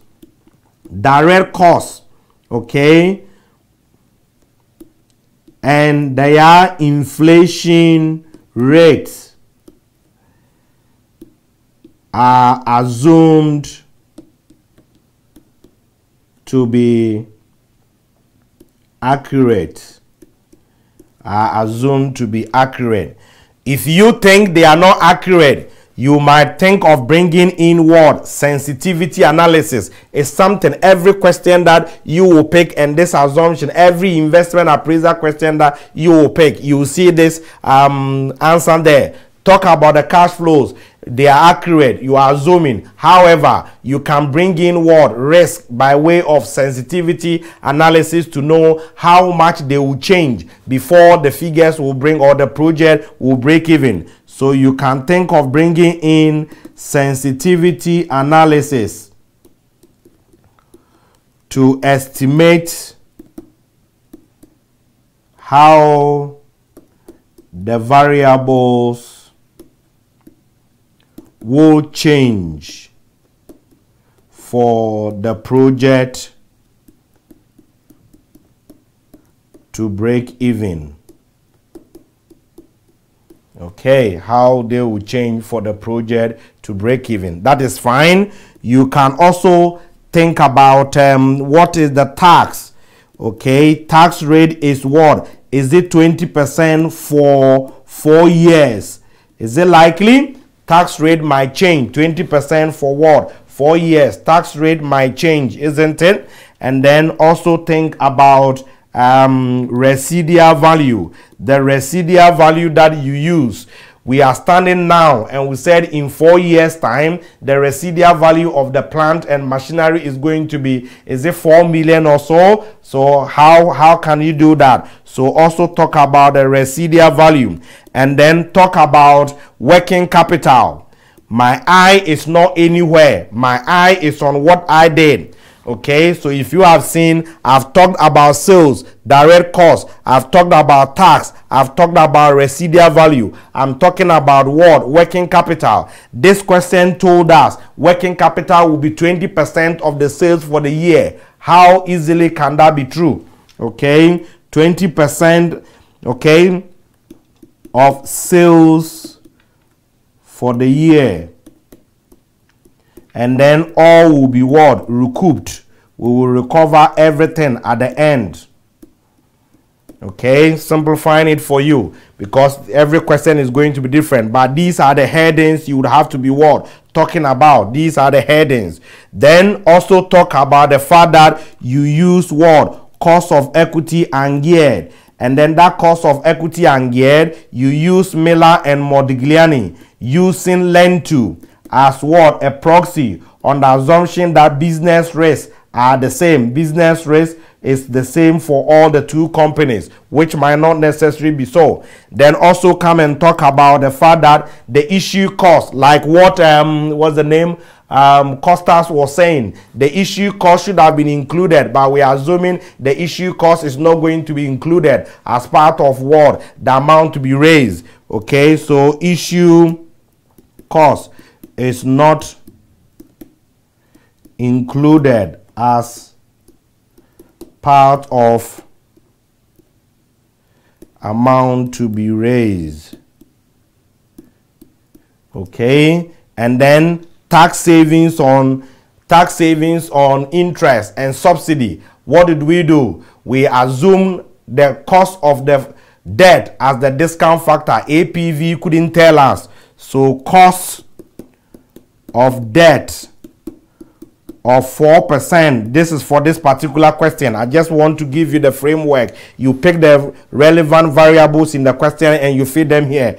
Cost of debt of 4% was assumed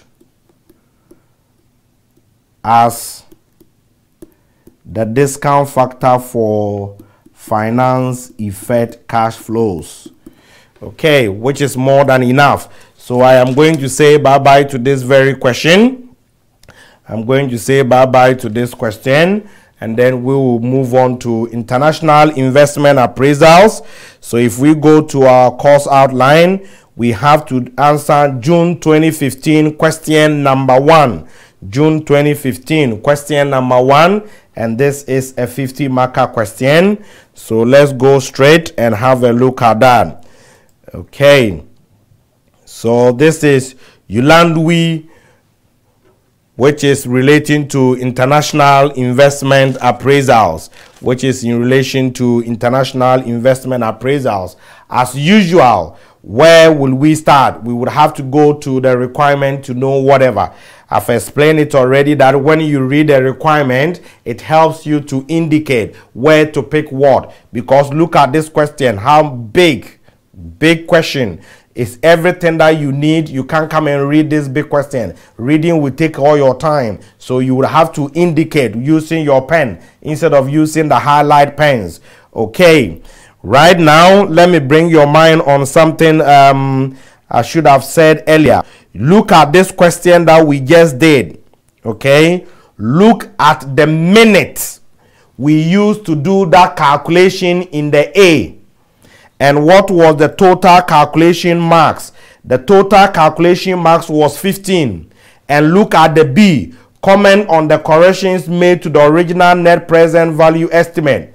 If you know it, you can write that and explain the APV approach. If you know APV approach, you can write that and the assumptions which are in the question. And this one will give you how many marks? 10 marks okay? So don't stay here for a very long time. If your time is going you can skip come to the b. Once you've known the corrections you've known the um, assumptions and all that you know the apv approach you can come and write down and get your 10 marks so that the break even this is 25 marker question. The break even for me is 12.5 so every 25 marker question, my target is a minimum of 25. If I come here and I'm able to get this 10, I'm able to get even 8 out of it. Which if you know what you're doing, you should be able to get this 10. By being prudent, get 7, 8. And then you come here and then you do the working sales variable cost you do some of them and some two are giving you a hassle as long as you've been able to do and you get something like let's say even 8 out of the 15 8 plus 8 you have crossed this 12 and a half. But what students do they stay on the a waste all the precious time. By the time they come to the b which is easy time is gone. They are not in position to write it well. They shorten the sentences and what they have to get one they tend to get half or what they have to get two they tend to get one. And you are losing precious marks okay? Acca typically will push you. Normally with the a or the b and it will sit you down okay? Read the requirement. Program yourself. I can do my b without the a. Because my B doesn't depend on any answer from A. I will go ahead and I'll do it. Okay, so that is the strategy. And this question, which was tested in the June, same thing happened. That's the reason why I, I decided to bring you back. So now let's go to the June 2015 question number um, one. Let me pick mine. June 2015 question number one, which is a very, very big question indeed. Okay. So, as usual, I am going to read the requirement. We analyze it. A. Discuss the possible benefit and drawbacks to Imoni Co. of setting up its own assembly plant in Yilandwe compared to licensing a company based in Yilandwe to undertake the assembly on its behalf. Five marks. Okay, this question, for instance, if you know it, you just get the five marks. Only five marks. You don't go and write a, a dissertation on it. It's only five marks. Typically, one good point will give you what? One mark. I need benefits. We're analyzing. I need benefits and drawbacks of the company going to establish a plant if you are establishing a plant in another country, we call it foreign direct investment. So instead of the company going to establish the plant in that country, they could also license it, give it to another company in that country to produce our product on our behalf and they pay us royalties or something. Okay, he wants you to know benefit and drawbacks of foreign direct investment relative to what? Licensing. If we're able to come out with let's say three or four three point here seven point should be enough okay you don't go and repeat yourself or because you know so many advantages and disadvantages you go and write about 15 point the maximum you can get for that requirement is only five so watch out B. Prepare a report which I evaluate the financial acceptability of the investment in the assembly plant in Yilandwe. 21 marks. Discuss the assumptions made in producing the estimate and the other risks and issues which Imoni Co should consider before making the final decision. 17 marks provides a reasoned recommendation on whether or not Imoni Co should invest in the assembly plant in Yilandwe. Three marks. Professional marks is four marks, which I'm going to illustrate how to get it. Okay, now be with me. If you look at this question, it was international investment appraisal. Look at this 21 marks. That is the appraisal, calculating the NPV or APV or whatever. And you know the massive time that will require you to do. And then come to the II, assumptions made in the producing the estimate. That is one. And other risks and what issues. That is the two, isn't it? They should consider before. This one, you can pick the 17 marks quickly, which we are going to see and then provide a reason recommendation on whether the company should invest. That depends on I anyway. If I've got M NPV of positive or APV of positive, then I will say, oh, they should go ahead or whatever. So my focal point is not going to be on the 21. No, because the 21, if I want to get everything right, I might not be able to finish. Therefore, some of them might be punishing me, but I need the NPV in order to come and conclude, in order to get these three marks. Therefore, any line that is giving me a problem, I am prepared to sacrifice some of these marks in the 21. Any line that is giving me a problem, I won't sit on it because the moment you sit on that line, you are losing more marks down there. So move, which I'm going to use this one to illustrate. Okay, professional marks means you would have to prepare it in the form of a report. To from date subject, you write, you conclude, that's it. Or sometimes you say to, you write, then you say compile by date, that's it. Okay, so that is the case. So when you get such big questions, they are easy marks. But normally, ACCA will put one requirement there that is going to take massive time. And that is the question most students normally also want to go in for. So please take your time, analyze the requirement, have a program as to how you will answer it in order to be able to maximize your mark. Nobody is interested in showing or telling you that you are the most brilliant person in the world. You did everything absolutely. That's not what I'm praying for you for. I am praying that you'll be able to do something reasonable to get 50 marks. So the 50 marks is the minimum I'm expecting or I'm praying for. So that when you go to the room and anything otherwise come up and you'll be able to get 100. If you get 100 for me, I'll be very brilliant. I mean very happy. But if you are not able to get a 50, unfortunately, that will be um, not too brilliant, isn't it? So now let's go. Discuss the possible benefit and drawbacks to Imoni Co. So let's go and read the scenario.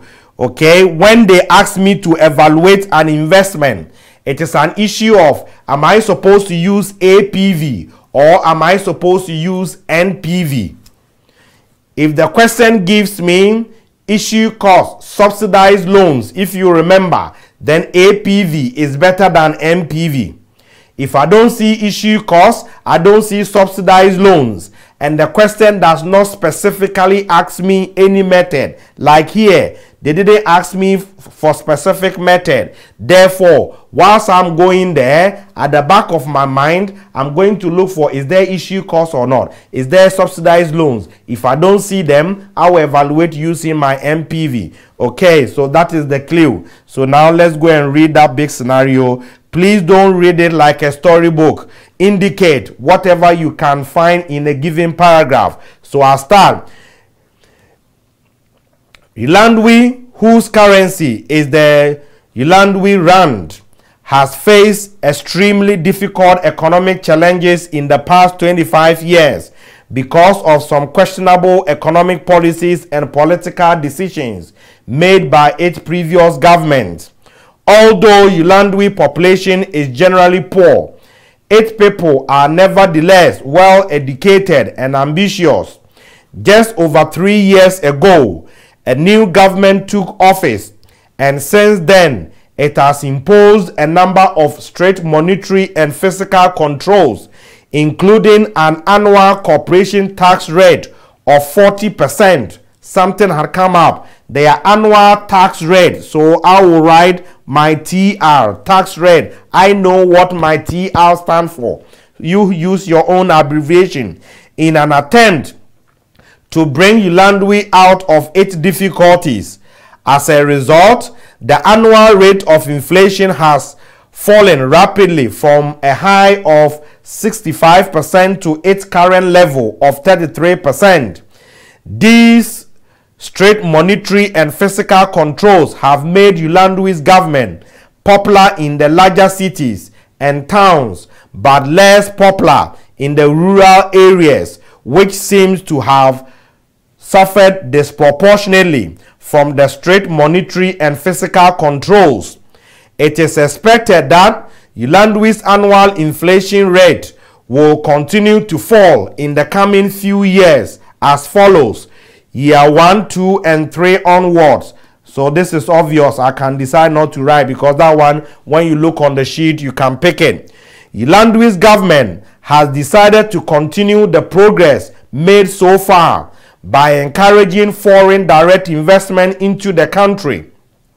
Recently, government representatives held trade shows internationally and offered businesses a number of concessions, including one, zero corporation tax payable in the first two years of operation, an opportunity to carry forward tax losses and, written, and write them off against future profit made after the first two years. So these are the concessions. Okay. The government representatives also promised international companies investing in Yilandwe prime location in towns and cities with good transport links. Imoni Co, a large listed company based in the USA, with the US dollar as its currency manufactures high-tech diagnostic component for machinery uh, for machinery which is which it exports worldwide.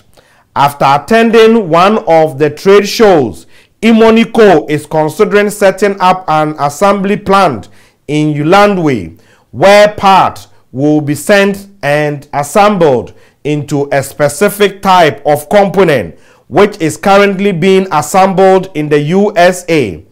Once assembled, the component, comp component will be exported directly to companies based in the European Union. This export will be invoiced in euro. Assembly plant in Yilandwe, financial and other data projections.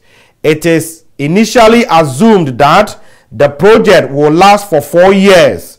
Something has happened. Number of years.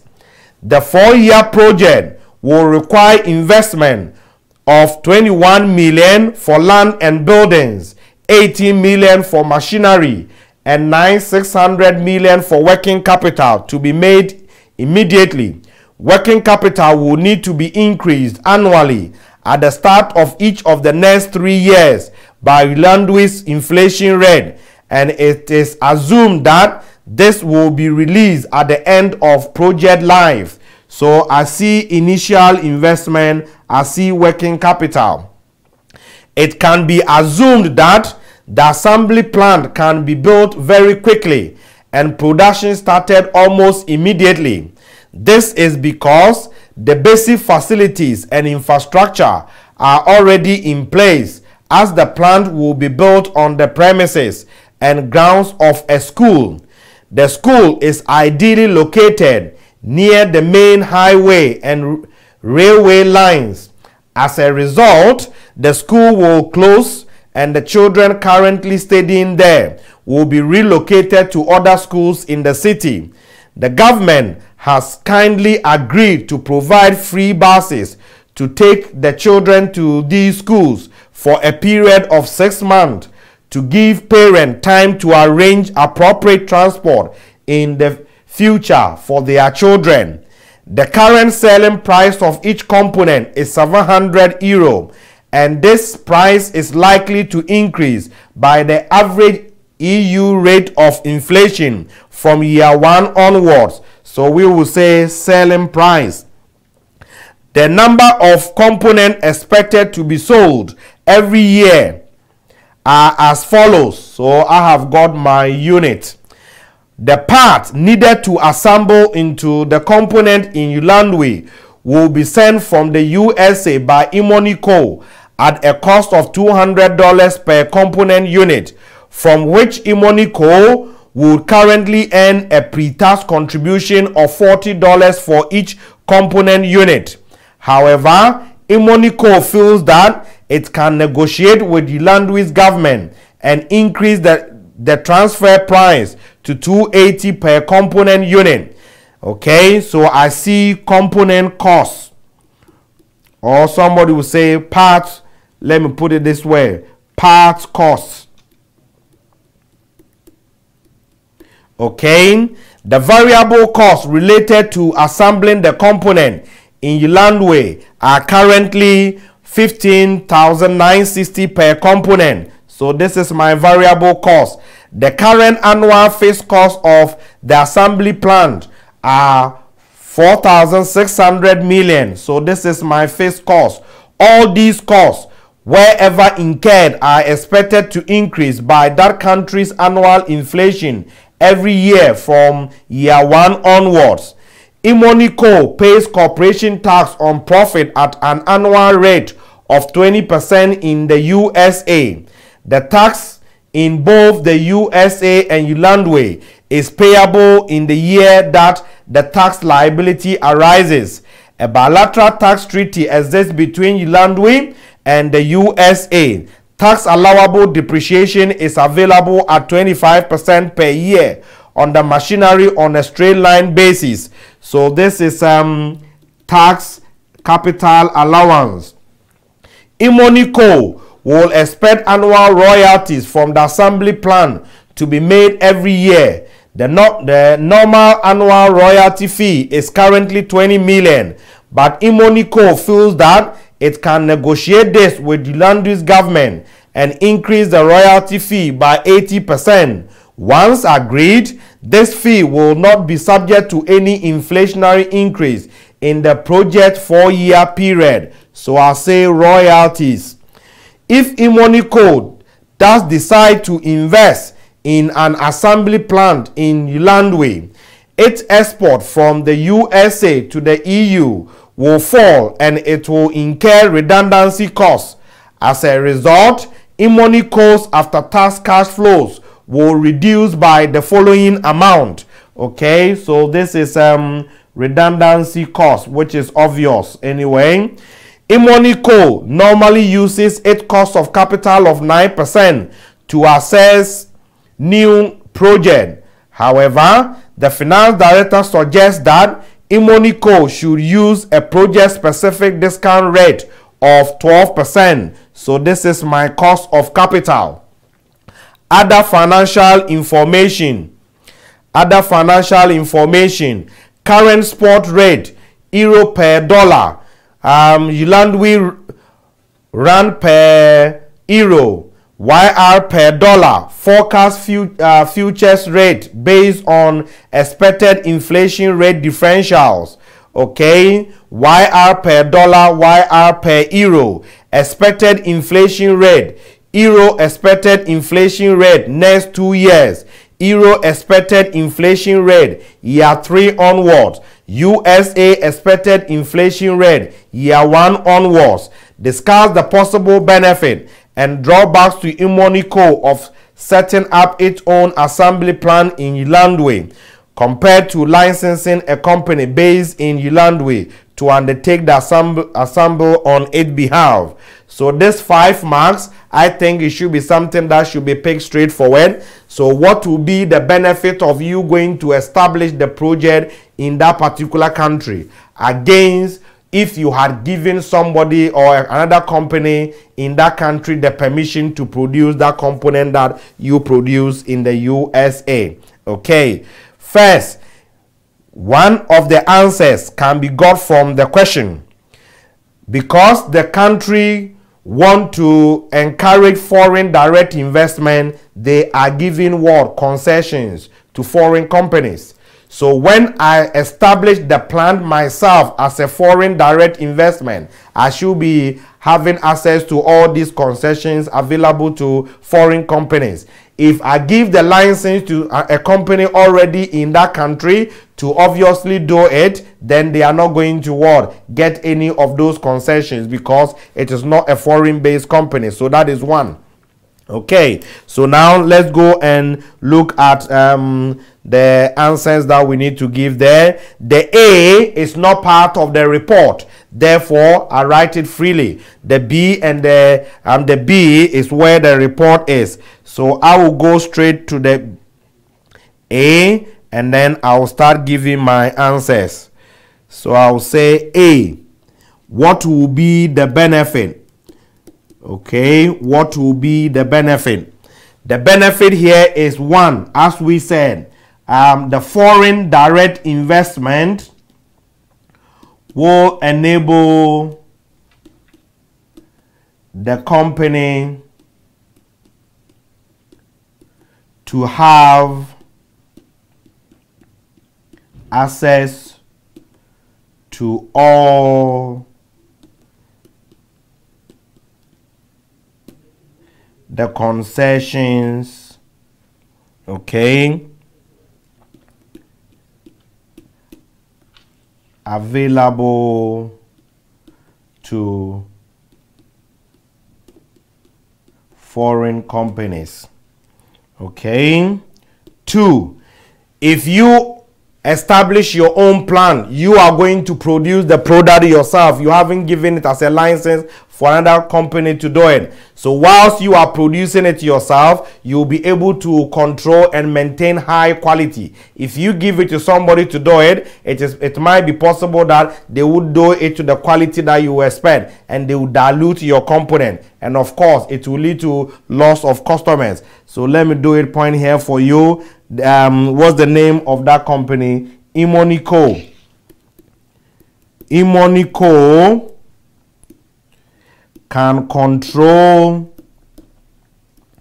and maintain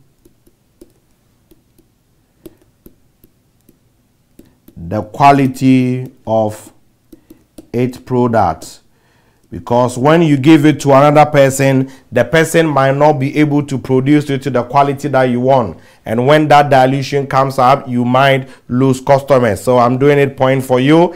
The third one here is going to be of the fact that if you give the license to somebody to produce you have to tell the person the way you produce it. And as such if after the four year license period you don't continue the person had already got the technology of how you produce it. So you release it. But when you are doing it yourself you will be able to preserve the confidentiality of the production of that particular product. So let's put it this way. Um, preserve the confidentiality.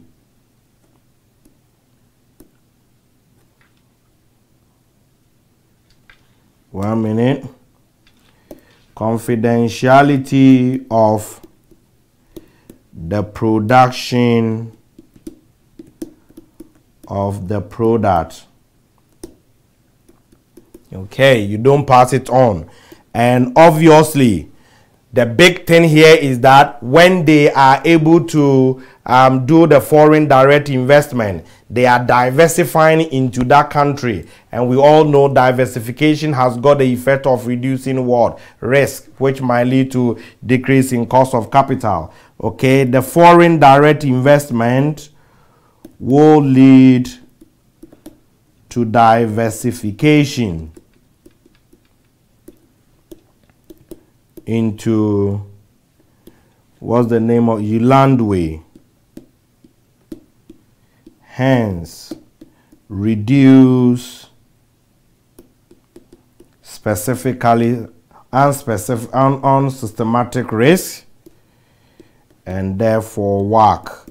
So these are the advantages. It's more than enough for five point. I mean five marks. This is more than enough for the benefit. Now let's see some of the problems what will be some of the problems? One, obviously, if you would have to go and establish there, then you need to put up the plant and everything. So there's high initial word set up cost. So I will say high, let me do it point here, high initial startup cost. Okay, two, when you go to somebody's country, you are a foreigner, you might be um, having some political risk. You might have what? Political risk. You might have what? Regulatory risk. Okay if you have licensed and given it to somebody or a company which is already in that country they are in that country they know the country holding everything constant. They know the country more than you the foreigner. So they will be able to maintain things better than you are because they know the culture and the culture risk will be what? Reduced. Okay so the licensing will reduce cultural risk as the local company will be able to know um, better than you. You also have to think of, you would have to train, you would have to train the local people there as to how you would have to produce your product. And by training them, by training them is going to take a longer time. There's a learning curve. And as such, there will be more cost to you. So I'll say high cost of training new personnel.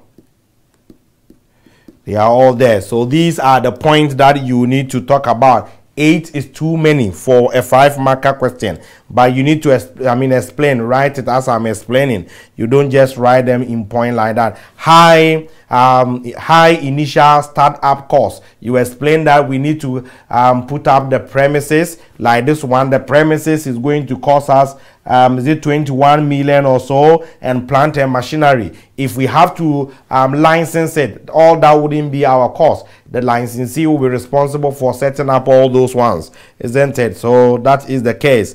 Now let's go to the B. The B is what the examiner is expecting us okay, to write a report.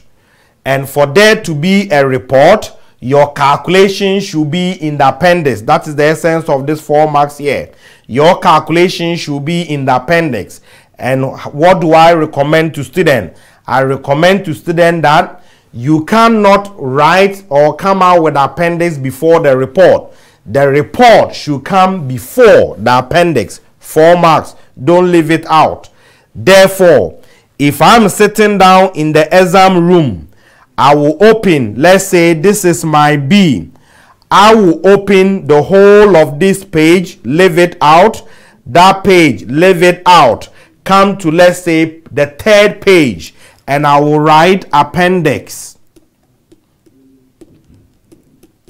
Okay, when I do my calculations and I get my figures, I go back and then go and write whatever report which is here okay so this is the first thing you need to do. So we are going to the appendix to calculate the npv why npv no subsidized loans no issue cost. So i need to calculate my npv how many years is this project supposed to go? How many years?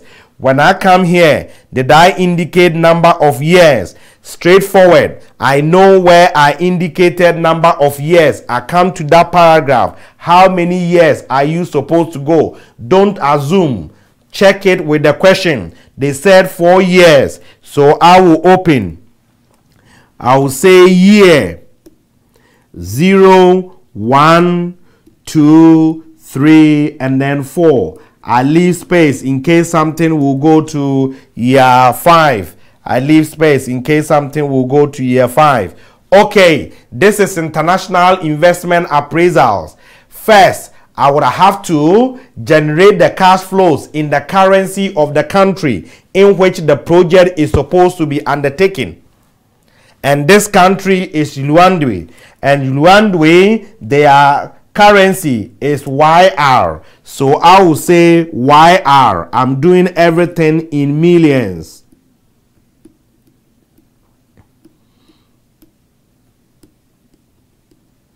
Okay, so that is what I have here. So for the purpose of tax, we have to start with our sales.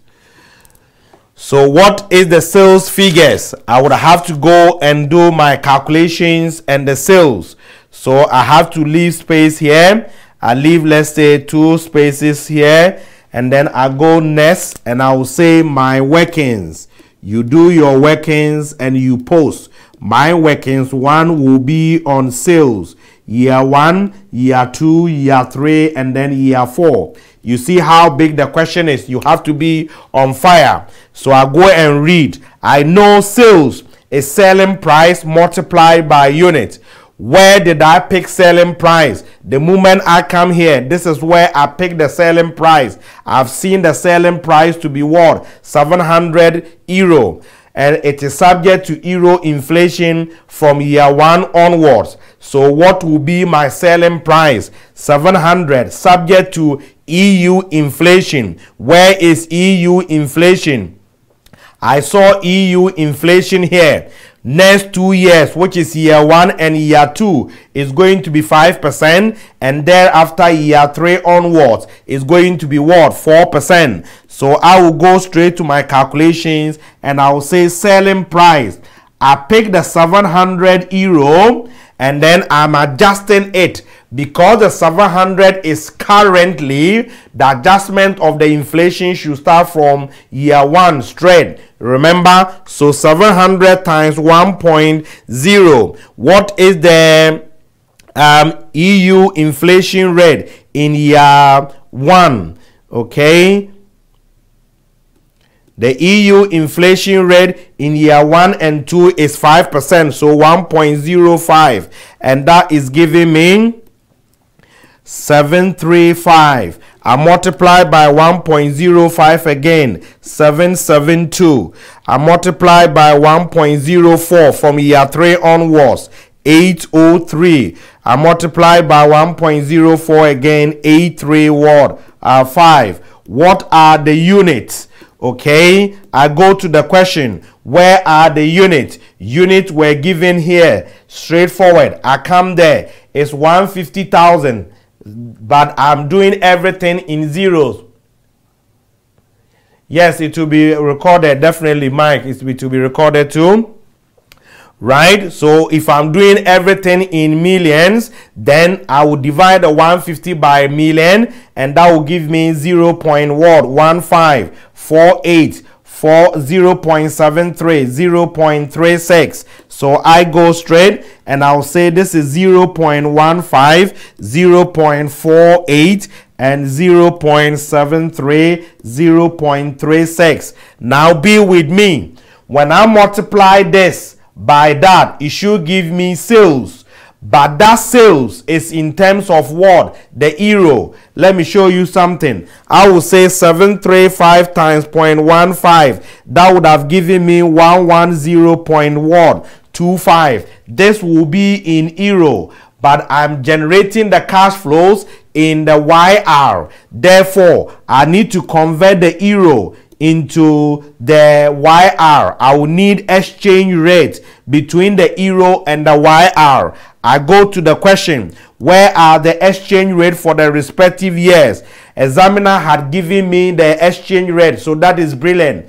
If he hasn't given it to me, then it's my responsibility to calculate it. But here he said the YR Euro exchange rate 165, 180, 190, and then 200.8. I would have to bring it. Okay, so I will say this is 165 this is um, 180.2, 190.2, 200.8. Now be with me.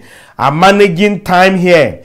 Is it good for me to multiply this by that to come and get that before I will multiply by that to come and get that? That will waste my time. So all what I would have done is 735 times 0.15 times 165 and that is giving me 18191. I don't need this line. I don't need this line for anything. I don't need it. Okay, what I want is the sales in YR. Then I'll say 772 times 0.48 times 180.2. That is giving 66775.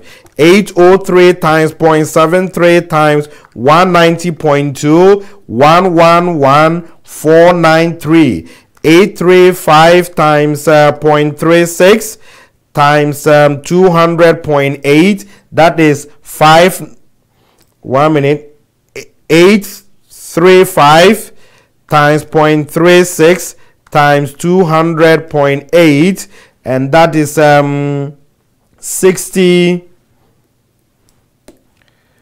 63660 so these are my sales okay brilliant. So I will move up go and put my sales figures in there. It's time pressured so you have to move. So this is 18 191 66775 111493 and then 60 um 360 what next? I go to the question again. Now that i have got my sales i will need my um costs okay what costs are there next is the part cost question says the part needed to assemble into the component in Yilandwe will be sent from the USA by Imoni Co at the cost of 200 per component unit from which Imoni Co will currently earn a pre-tax contribution of 40 for each component unit. However, Imoni Co feels that it can negotiate with Yilandwe's government and increase the transfer price to 280 per component unit. What are we doing here? We are generating the cash flows in Yilandwe. So there, they have to buy the component and we initially will sell to them at 200 and we would have made a contribution of 40 but we want to increase the price to what 280 so to them they have to pay 280 dollars per unit isn't it so to them it's a cost but when you come to the head office that is when it will be a revenue or income Therefore, if we are generating in that country, they have to pay the 280 cost, full stop. When we come to our country, that is where the contribution issue will come in. So let's quickly go and calculate the component cost. So parts cost. I go down there quickly. So 2 is going to be parts cost year 1, year 2, year 3, and year 4. According to the question, the cost per unit is in dollars of 200 and that 200 is subject to inflation obviously and that inflation because it's dollars should be in terms of the US inflation I come down here what is the US inflation from year 1 onwards is 3% the 280 is the current the 280 is the current. Put the 280 there. So the 280 being the current means adjustment of the inflation should start from year one. So 280 times 1.03 is 288 times 1.03 is 297 press the equal sign 306 press the equal sign 315 and then what will be the unit? 0.15 0.48 0.73 0.36 because this is dollars when i multiply i will get dollar. I didn't i don't need dollar. I need the um, yr therefore i have to bring the exchange rate what exchange rate the exchange rate between the dollar and the yr I go to the question, where is that exchange rate? When I come here, YR and the dollar, these are the exchange rate. I pick them. If they, are, they were not given, I would have to calculate them. So I pick those figures. So first one is 120.1, 133.7, 142.5, and then 151.9. When I multiply them, it gives me the cost in what? YR. And you're going to get um, 5188, 19060, 31831, and 17225. Okay, so these are the figures. As I did in the first instant here, who cares for you multiplying this and that? Get a figure before you come and exchange. We don't need that. So flow. Okay, you haven't got that time. So come and put it here. And this one will give us um 5188 minus 19060 minus 31831 17225.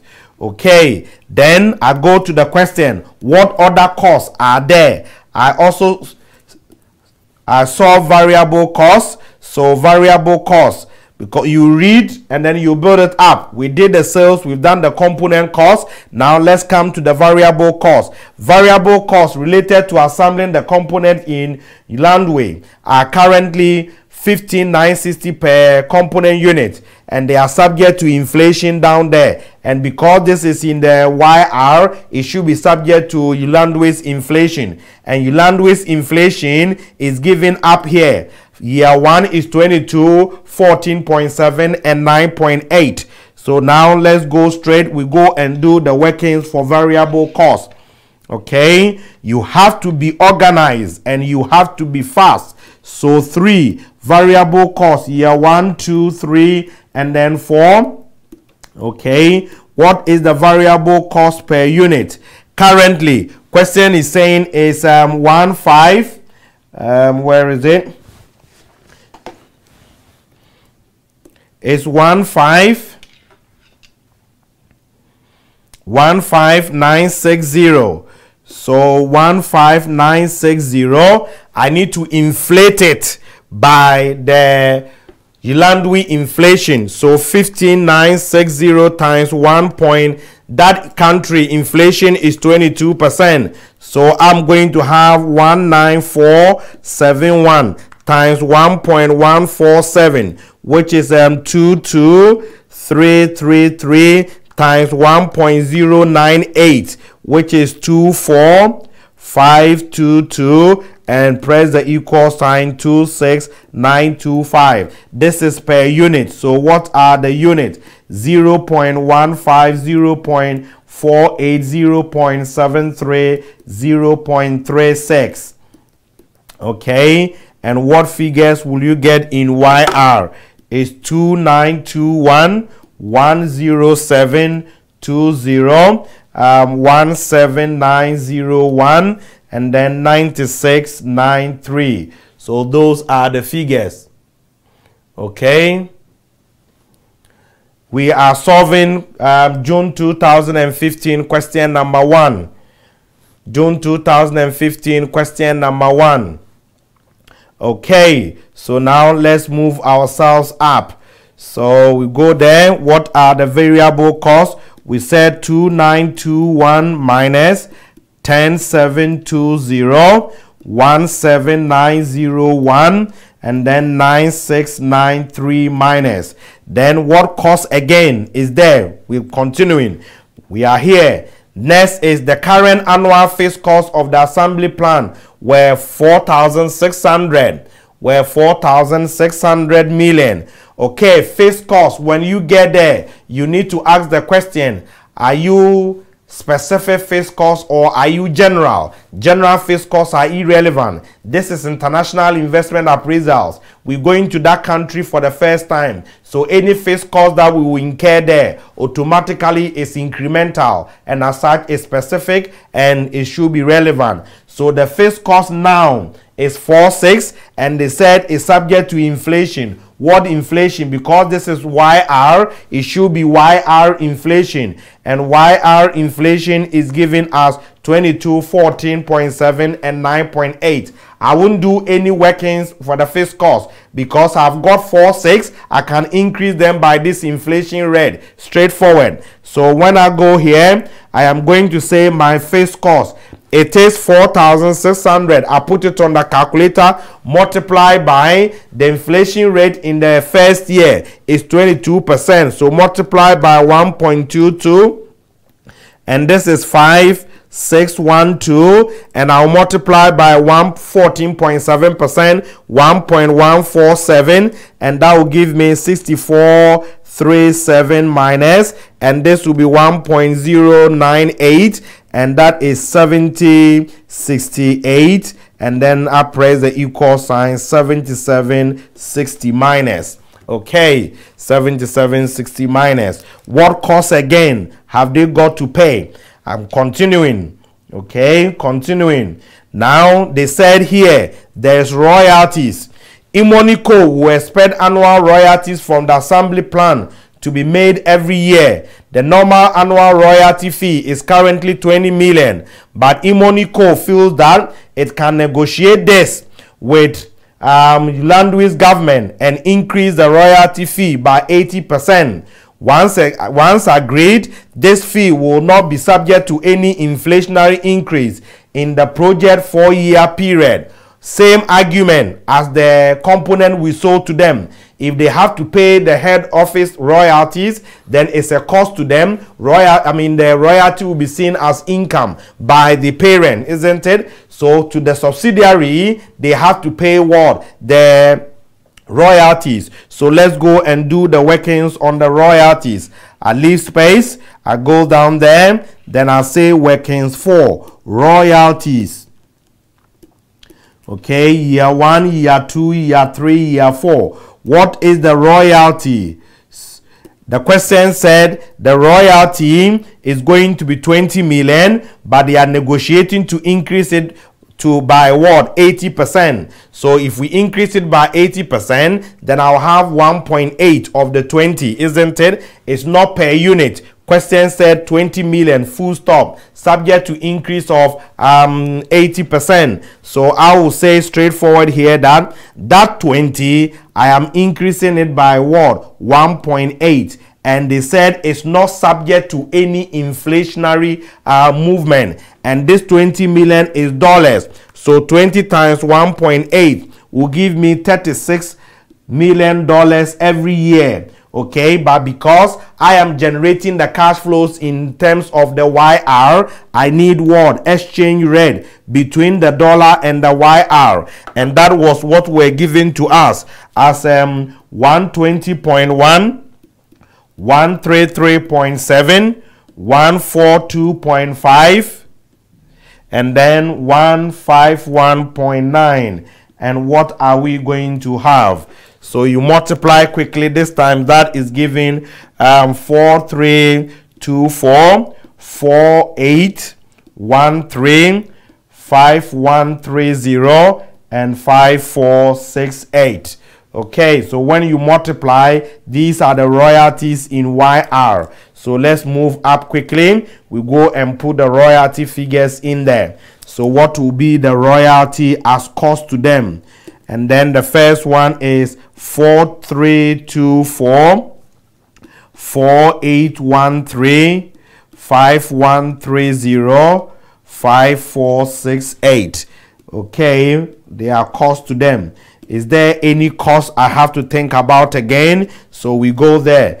Um, after the royalty, there's no cost apart from tax. Redundancy cost will is happening in our country. It's not happening in that country, so that is fine. So if I have got this, I have to sum them and then get myself ready for tax. When I sum these figures, this is giving 146, 25, 745, 496, uh, 495, 49563 and then 20214 okay so these are what is called the cash profit you don't write to the examiner When I get to cash profit, my next would have been tax and tax savings on capital allowance. And what did I say here? When it is international investment appraisals, as I said, I don't recommend you doing tax and tax savings. When the examiner hide loss, when the examiner hide taxable laws, you will end up giving money for the company making laws. So I told you, get out. If it is international investment appraisals, get out and go and sort the tax out. If it is domestic, as we did with the first question, I did tax and tax savings on capital allowance. I illustrated all these when we were doing the um, lecture. I also told you some people do um, less capital allowance, they calculate the tax, and when they finish, they add back the capital allowance. I prefer that one too, but the only problem with it is if you forget to add back the capital allowance, then it means you have treated the capital allowance as a cash flow, which of course capital allowance is not. So I normally encourage students go out and do your tax as a figure and come back. So workings 5, I'm going to say tax. Workings 5, I am going to say tax. So year, year 1, 2, 3, and 4. I have got my cash profit. And the cash profit are the 146, the figures we got there, 25745, um, 49563, and then 20214. What next? I need to less my capital allowance. I need to less my capital allowance. Now let's go to the question to go and read to check the capital allowance. If we go there, where did we indicate capital allowance? Straightforward. I know where to go because I have indicated things. When I come to that paragraph, I see Imoni Co pays corporation tax on profit an annual rate of 20% in the USA. The tax in both the US and Yilandwe is payable in the year that the tax liability arises. It means they are in relevant years. Bilateral tax treaty exists between Yilandwe and the USA. Double taxation agreement exists. Tax allowable depreciation is available at 25% per year on the machinery on straight line basis. Okay, so um, the capital allowance is 25% on straight line on what? On machinery. So I have to go and look for the cost of the machinery.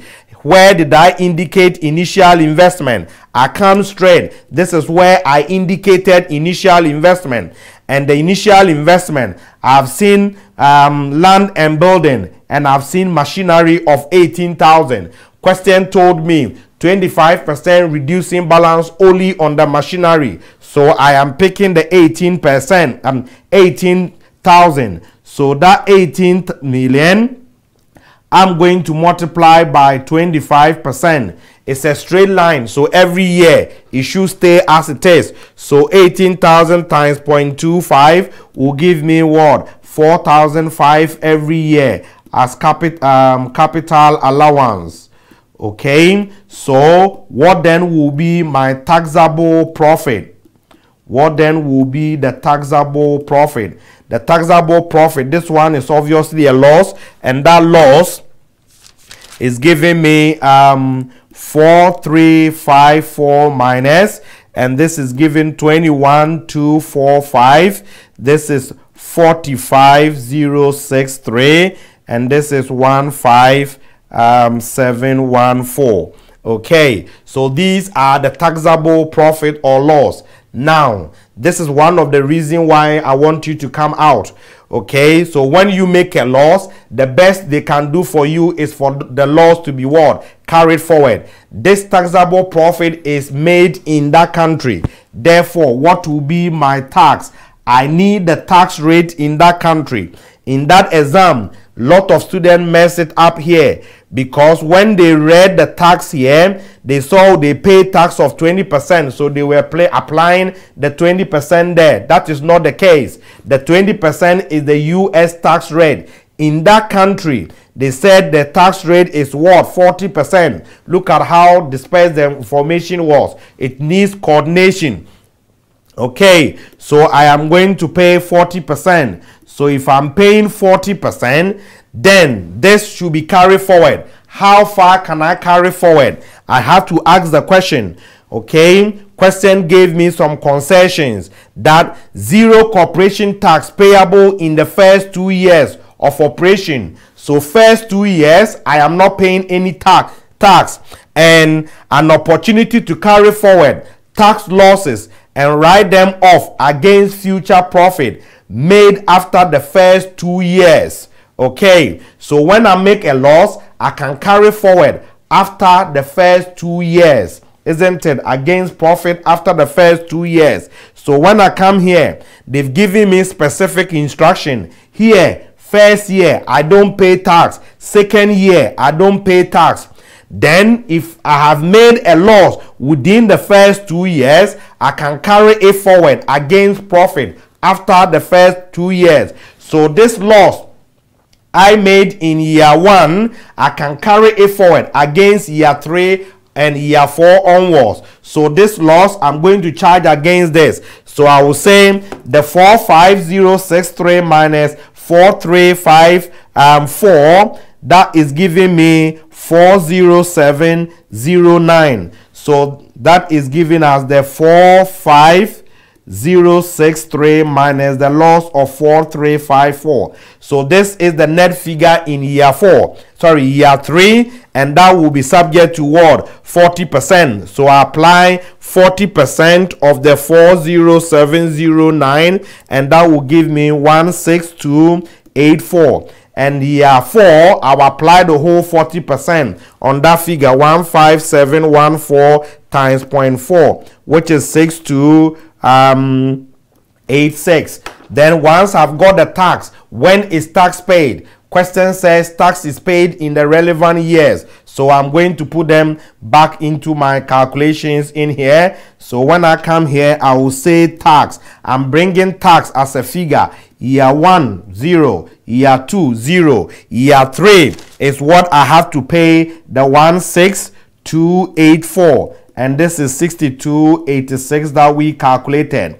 Okay so if this is the case tax and tax savings on capital allowance all of them are embodied in these figures. My next level is i need my investment capital items. What will be the initial investment? What is the cost of the machine and that of the um, the land and buildings okay this is where we indicated initial investment. We have to pay 21 million and 18 million isn't it? So i will say um, 21 plus that will give me 39 straight. So i will just go straight and say year zero 39,000 39,000 in year zero.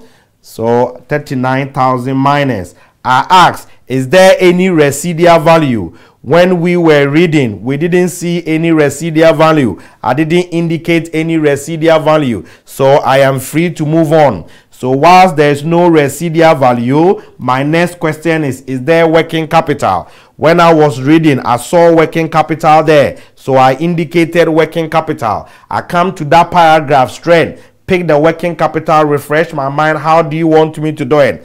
Question said working capital is 9,600 immediately, but working capital is subject. Look here, the working capital will need to be increased annually at the start of each of the next three years by Yilandwe's inflation rate. And it is assumed that this will be released at the end of the project life. So I have to go and do workings on working capital. So I go down there, I do my workings on working capital, and I will come back. So what workings is this? This is working six. Um, working capital year zero, one, two, three, and four. What is the question saying? My total working capital now, according to the question, is 9,600. And this 9,600 is subject to um, inflation and inflation in year one in Yilandwe is 22%. So 96 times 1.22 and that will give me is it 11 712 times 1.147 the inflation rate in Rwanda is what we're using. 13434 then times 1.098 and that is 14750 don't forget that you do not have to put anything in year 4 what will be the cash flows cash flows will be the increment or changes. So I put in 9,600. It's a cash outflow. It increased to 11712. What is the difference? Difference is 2112. Then it also increased from 11712 to 13434. What is the difference? That difference is 1722. It has also increased again to 14. So what is the difference between the 14750 and the 13434? And that is 1316. And then it's gone to zero. So I have to recover that. So that is the movement of my working capital. It's the pace. You need to be on fire. Okay. So I move up here and I will say this is 9,600 minus and then it's going to give me um, 2112 minus 1722 1316 all minus and this is 14750 as long as I've got my working capital I know that um, my cash flows are set so I sum them up to get what is called the remittable cash flow. Now I've got the net cash flows in that country and this is what we normally refer to as what? Remittable. We are supposed to remit it to the parent. So when I sum, this is going to give me 48600 minus um, 1966 minus 24023 31963 28678 okay so these are the cash flows all of them in YR millions so once I've got the net cash flows there what should I do? I have to what um, convert it and bring it into my parent company in US. So the sign is supposed to be changing by bringing exchange rate here. I need the exchange rate between the dollar and the YR. And when you will go to the question, the exchange rate between the YR and the dollar, the spot, which is in terms of year zero, is giving us YR per euro, YR per dollar is 101.4. And then the other years are this. So let's pick them quickly. So I'm going to get 101.4, 120.1, 133.7, 142.5, 151.9 and this will change the sign. Now I have to bring it in dollars in terms of millions. Okay, and then we will have to divide. So 48 48,600 divided by 101.4 is giving me 479 minus. This is what we normally refer to as the remitted cash flow. You don't need to um, actually do this. You don't need to do that. Leave them out. Okay, so we divide this by that and this is giving minus 16 approximate. This is 118 224 and 189 so if i'm able to get these cash flows I've brought them into my country. The moment I bring into my country, a question should come up. Is there any additional tax I would have to pay? That depends on is there a double taxation agreement between the two countries? Question says yes. Okay, let's go and read that. Question said here that there's bilateral tax treaty exists between the two countries. If there exists, then we would have to make sure that we pay the highest rate. In that country, the rate we paid was 40%. In our country, the rate is 20%. So we've already paid the highest. So once we've paid the highest, there is no need for us to think of any additional tax. Check it. Okay. So I will say there is no tax. If there is no tax, then is there any other cash flows associated with the investment that I will get in my own country? Answer is absolutely yes.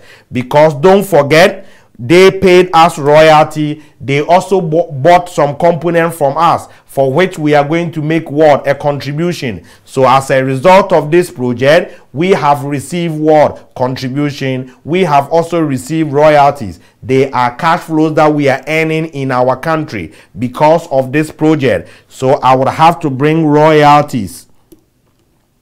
Okay? Okay let me leave space here let for the sake of teaching this is where the additional tax would have been. This is where the additional tax would have been. But because um, there's none i'm just bringing it there for the sake of um, um, knowledge. Then bring any additional cash flows like we receive royalties okay? How much royalties did we receive we did the calculation and royalties. I go there. Royalties every year. I received what? 36 dollars. I don't need to come and pick this and convert it again to that because i need now figures in dollars. So i will receive 36 dollars every year. And when i receive that income that income royalty there's no double taxation affecting it because in that country i didn't pay any word tax on that royalty. As a matter of fact, they saw it as an expense and rather it reduces their taxable profit. So it saves that tax. So when I bring the money into my country in US, the taxman in US will say, oh, you haven't paid any tax on that um, royalty. Therefore, you would have to pay tax now. So that 36, I have to pay tax. In my country, US, what tax rate do I pay? Question says I pay 20%. So if I'll pay 20%, I will get what? 80%. In the exam room, I am not going to show 36 then i would multiply by 20 and come and deduct from it i will just do the net okay so i will say my net royalty net my net royalty which is after tax will be the 36 multiplied by the 80 percent okay? And i go straight. 36 times 0.8 will give me simply um 29 for every year. 29 approximate. 29 approximate. Okay? I've already factored the tax. If you have done 36 and you've applied 20 percent 36 times 0.2 would have given you, let's say 7.27. If you take it, it will bring you to the 29. Why will I do that? Even if the examiner had allocated marks for this and that, as long as I've put this, I'll get the two marks because I have already factored what? The tax, okay? So find ways of trying to um, balance your time because it's time pressured. Okay, next I will also have to think about the contribution. So I need to go and do workings on the contribution. And what will be the workings on the contribution? I leave space. I go down there. We're doing workings on the contribution. Working 7. Contribution. Okay. For year one, two, three, and then what? 4 if we read the contribution, this is what where most students actually couldn't apply. The question told us here that we will normally have sold it to them at 200 and when we sell to them at 200 we would make a contribution of what? 40 dollars. So if we are now increasing the selling price by 80 which is from 200 to 280 how much contribution will you make? That is what some students couldn't do it. Two ways that you can use to calculate. If i sold it at 200 i would have made a contribution of 40 sales minus variable cost will give you what? Your contribution. So variable cost would have been what? 160 is the price we increase we didn't increase what the variable cost so if i increase it to 280 minus 160 obviously it should give me 120 an alternative way is that if I sell it at 200, I would have made a contribution of 40. So if I increase the price by 80, of course, my contribution should increase by the 80, which is 120 per unit. Isn't it? So I will go straight and go and do my calculation there. So my contribution per unit will be the one um, 120 and this 120 should be subject to what? Inflation. And because it's dollars it should be subject to US inflation rate. And what is the US inflation rate? When you come down here US inflation rate is 3% so I'm going to increase it by 3% I'm going to increase it by um, 3% so 120 times 1.03 is 124 times 1.03 127 um, 131 135 and I have to multiply by the unit which is 0 0.15 0 0.48 0 0.73 0 0.36 and then when I multiply okay for the sake of teaching when i multiply it will give me the total contributions that i will make which is about 19 here 61 96 and then what? 49 but when I get this extra contribution, the taxman will tell you, oh, it was expense there. You, it, it actually save you tax. You haven't paid any tax on this. So the double taxation will not affect it. So you have to pay tax in my country. And the tax rate is what? Is it 20%? So will I multiply these by 80% and go away? And I will get my net contribution. So this is the net contribution in terms of the dollars. So that will give you about 15, um, 49, 77, and then 39. Okay, and 39. So I go up quickly. I go up quickly. So my contribution here is going to be um, net contribution.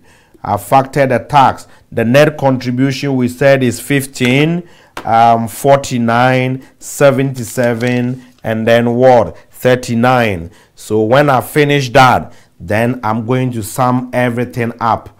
Okay. So what is the overall net cash flows before the redundancy cost? We calculate the NPV of the redundancy cost and we come and take the um, that figure from the NPV here. So this is 479 minus um, total here is um, is it 28 positive 258 330 and 257 and that will be your net cash flows. Once it's NPV I need a discount factor what discount factor I need the project specific WACC I go to the question where is the project specific WACC when I come here I think we indicated something as cost of capital. We indicated it somewhere.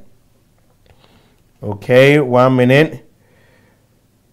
It should be down here. You see that this one already indicate. Yes, this is where the cost of capital is. So cost of capital, I go straight there. If you don't indicate and you don't say it, it's going to happen like what I was moving here and there. And of course, time two is going. Imoni Co normally uses its cost of capital of 9% to assess new project. However, the finance director suggests that Imoni Co should use a project specific discount rate of what? 12% is given to me. I pick it. If it wasn't given, examiner should give me basis for me to calculate the project specific WACC myself. Proxy beta and gear, regear, CAPM, and you work it. You get your 12%. You come and put the 12% here. And then this is 1, 0 0.893, 0 0.797, 0 0.712636 and what will be the PV here? 479 minus this is 25 206235 and 163 so the NPV for that project is approximately what? 150 okay so that project will give us NPV of 150 but in order to go and do this project in that country, there will be the need for us to make people redundancy here. And that redundancy cost is a cost against this project because that cost could be avoided if we decided not to undertake this project, isn't it? Because if we are not doing this project, those employees will still be there. So let's calculate the mpv of the redundancy cost. mpv of the redundancy and other costs. It's an opportunity cost. So we need to come and less from this. Okay. And the examiner gave us yes. Yeah. According to the question, the redundancy cost, this is where it was. And the loss contribution is 20,556 um, 573685989. Okay, I need to ask myself, these monies, are you before tax or are you after tax? They said after tax cash flows. So once they after tax, I don't have to deduct it. It's done already. So I'm picking them. This is 20,000 and we're doing everything in millions okay so if you divide 20,000 by 1 million 1 2 3 1 2 3 that will give me 0 0.02 so this one will give me 0 0.56 and all that money is very very um, insignificant. Year 1 year 2 year 3 year 4 I should think so. Right. So the figures there are the figures there one minute.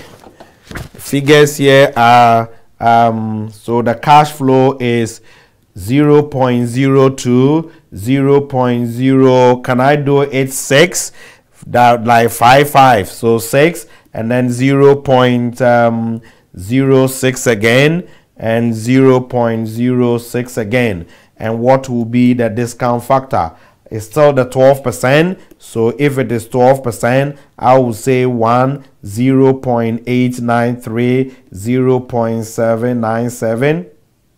No, no, no. One minute. I've got one year ahead. So this is year one. So it's 0 0.893, 0 0.7, um, you can say it, 0 0.7, I also needed the figures anyway. One minute 0 0.797, 0 0.712, 0 0.636. Okay, so these are the figures that we will get. Let's multiply.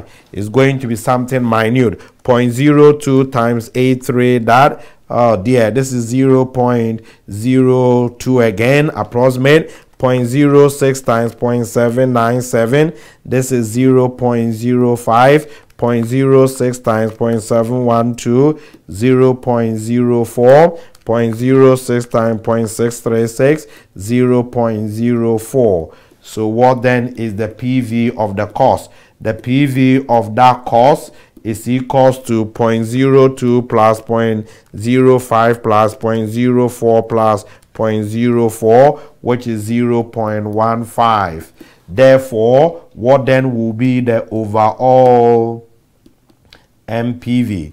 So originally NPV of the project, we got 150 and then NPV of the redundancy cost, we got 0.15. So what is the overall NPV of the project? Which is that from 150 and that is 149 point what 85 approximate so that is your calculations. That is your calculations. We haven't even done the other one. Okay let's go straight forward. This is what i was telling you i'm teaching. That's why i had to do up to the end. In the exam room if time is going i'm not doing up to the end because um so many things were demanding. I'm not 100 percent sure of this 21 you can't make it. Okay so do your maximum best with it. Flow. Get a horrible npv because you need to come and give a recommendation here. So now let's go and write a report okay? Let's go and write a report. I go back. This is where i'm going to write my report.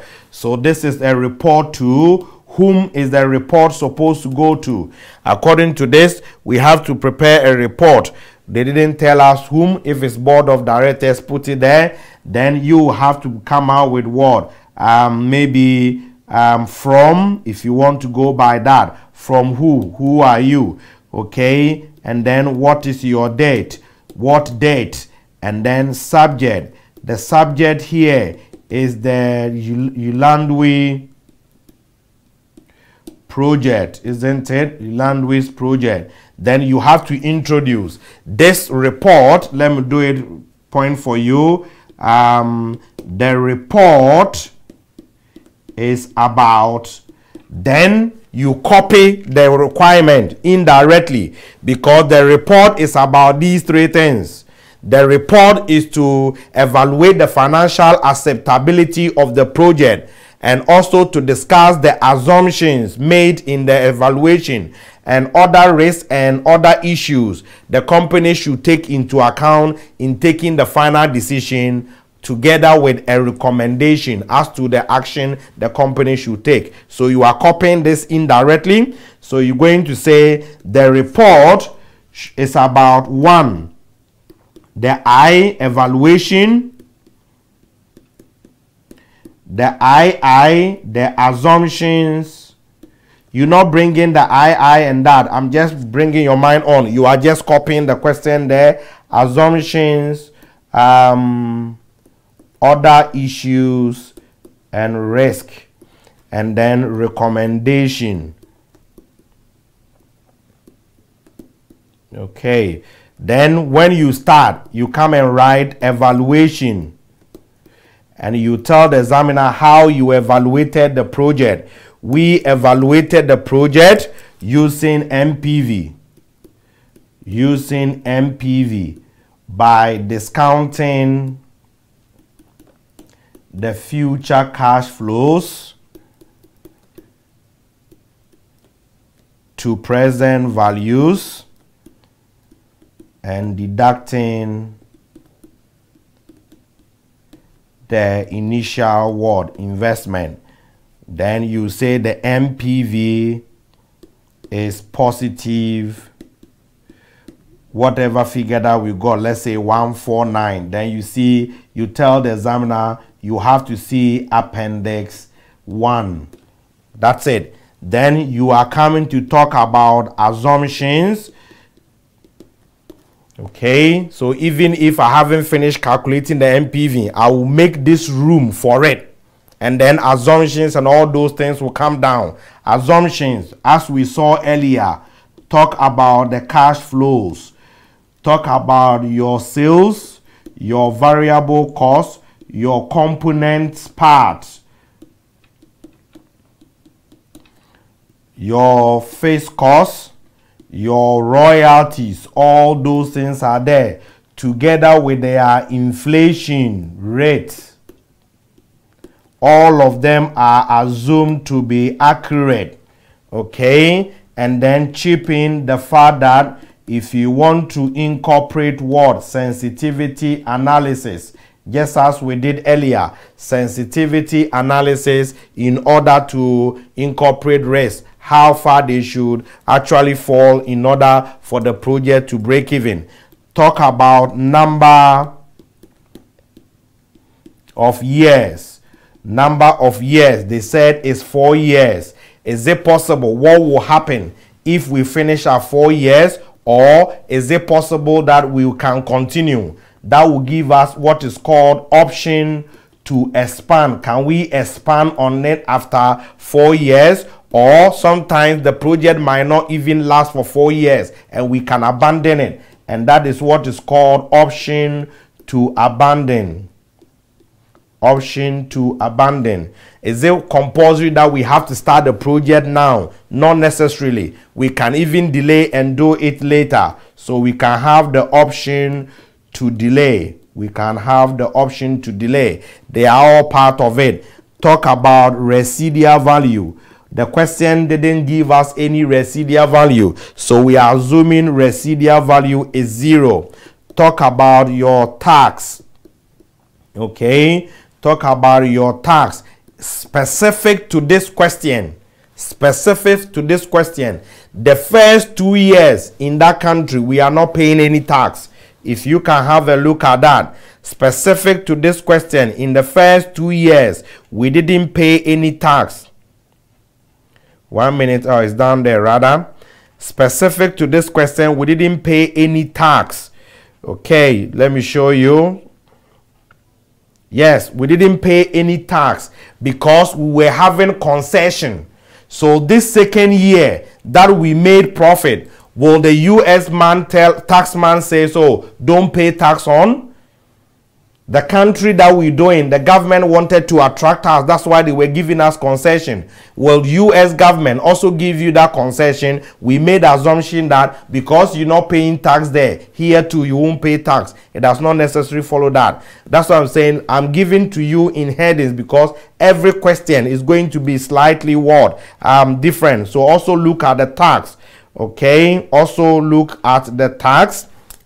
Okay. Here um no tax in two years. It's also applicable in the USA. Okay? And think about the working capital. What are they saying? Working capital is going to increase by what? Inflation rate is subject to argument. Okay? Um, talk about exchange rate the exchange rate they use the purchasing power parity theory. That's why they said it is reflecting the inflation differentials. Purchasing power parity might not necessarily work. So the exchange rate we use might not be necessarily the same as the exchange rate that might happen in reality. And that will change the figures and the npv might also what um, change isn't it? And the npv might also um, change also talk about the fact that the royalties and then the transfer price. This one is specific to this question. Transfer price uh, we said we are going to negotiate to increase. So we say negotiation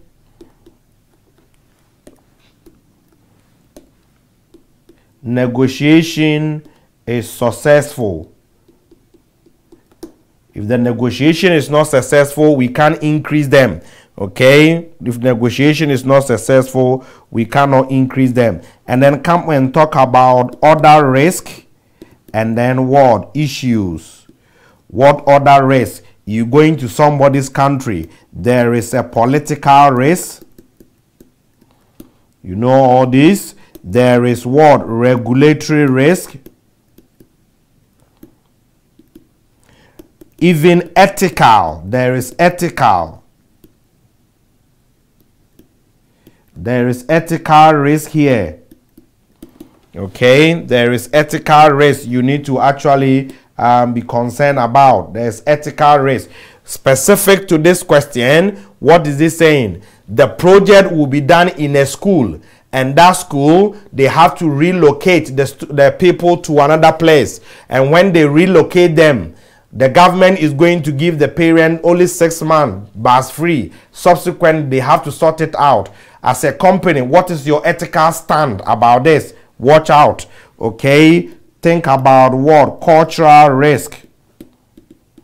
Okay. Even think about block remittance block block remittances. Think about them because the money all of them might not be transmitted back to you um, your us the government there can block it for the purpose of what? Exchange what? Control. So these are other risk issues you can actually what? Talk about. Then when you finish you come and give what? A recommendation and what will be the recommendation? Recommendation will be that because the npv is positive the project is financially what acceptable. However to take the final decision the company should also consider some of these risk factors that we have actually what considered here then that's it. So this is how it should follow. If you are able to write something and you come out with a structure you get the full marks. Okay it is a very very very detailed question and as such you have to be prepared to be moving. Okay so um our time is up so we have to stop here and then i'll see you at um six o'clock for the second session. So i wish you all the best for the time being and see you at six. Thank you very much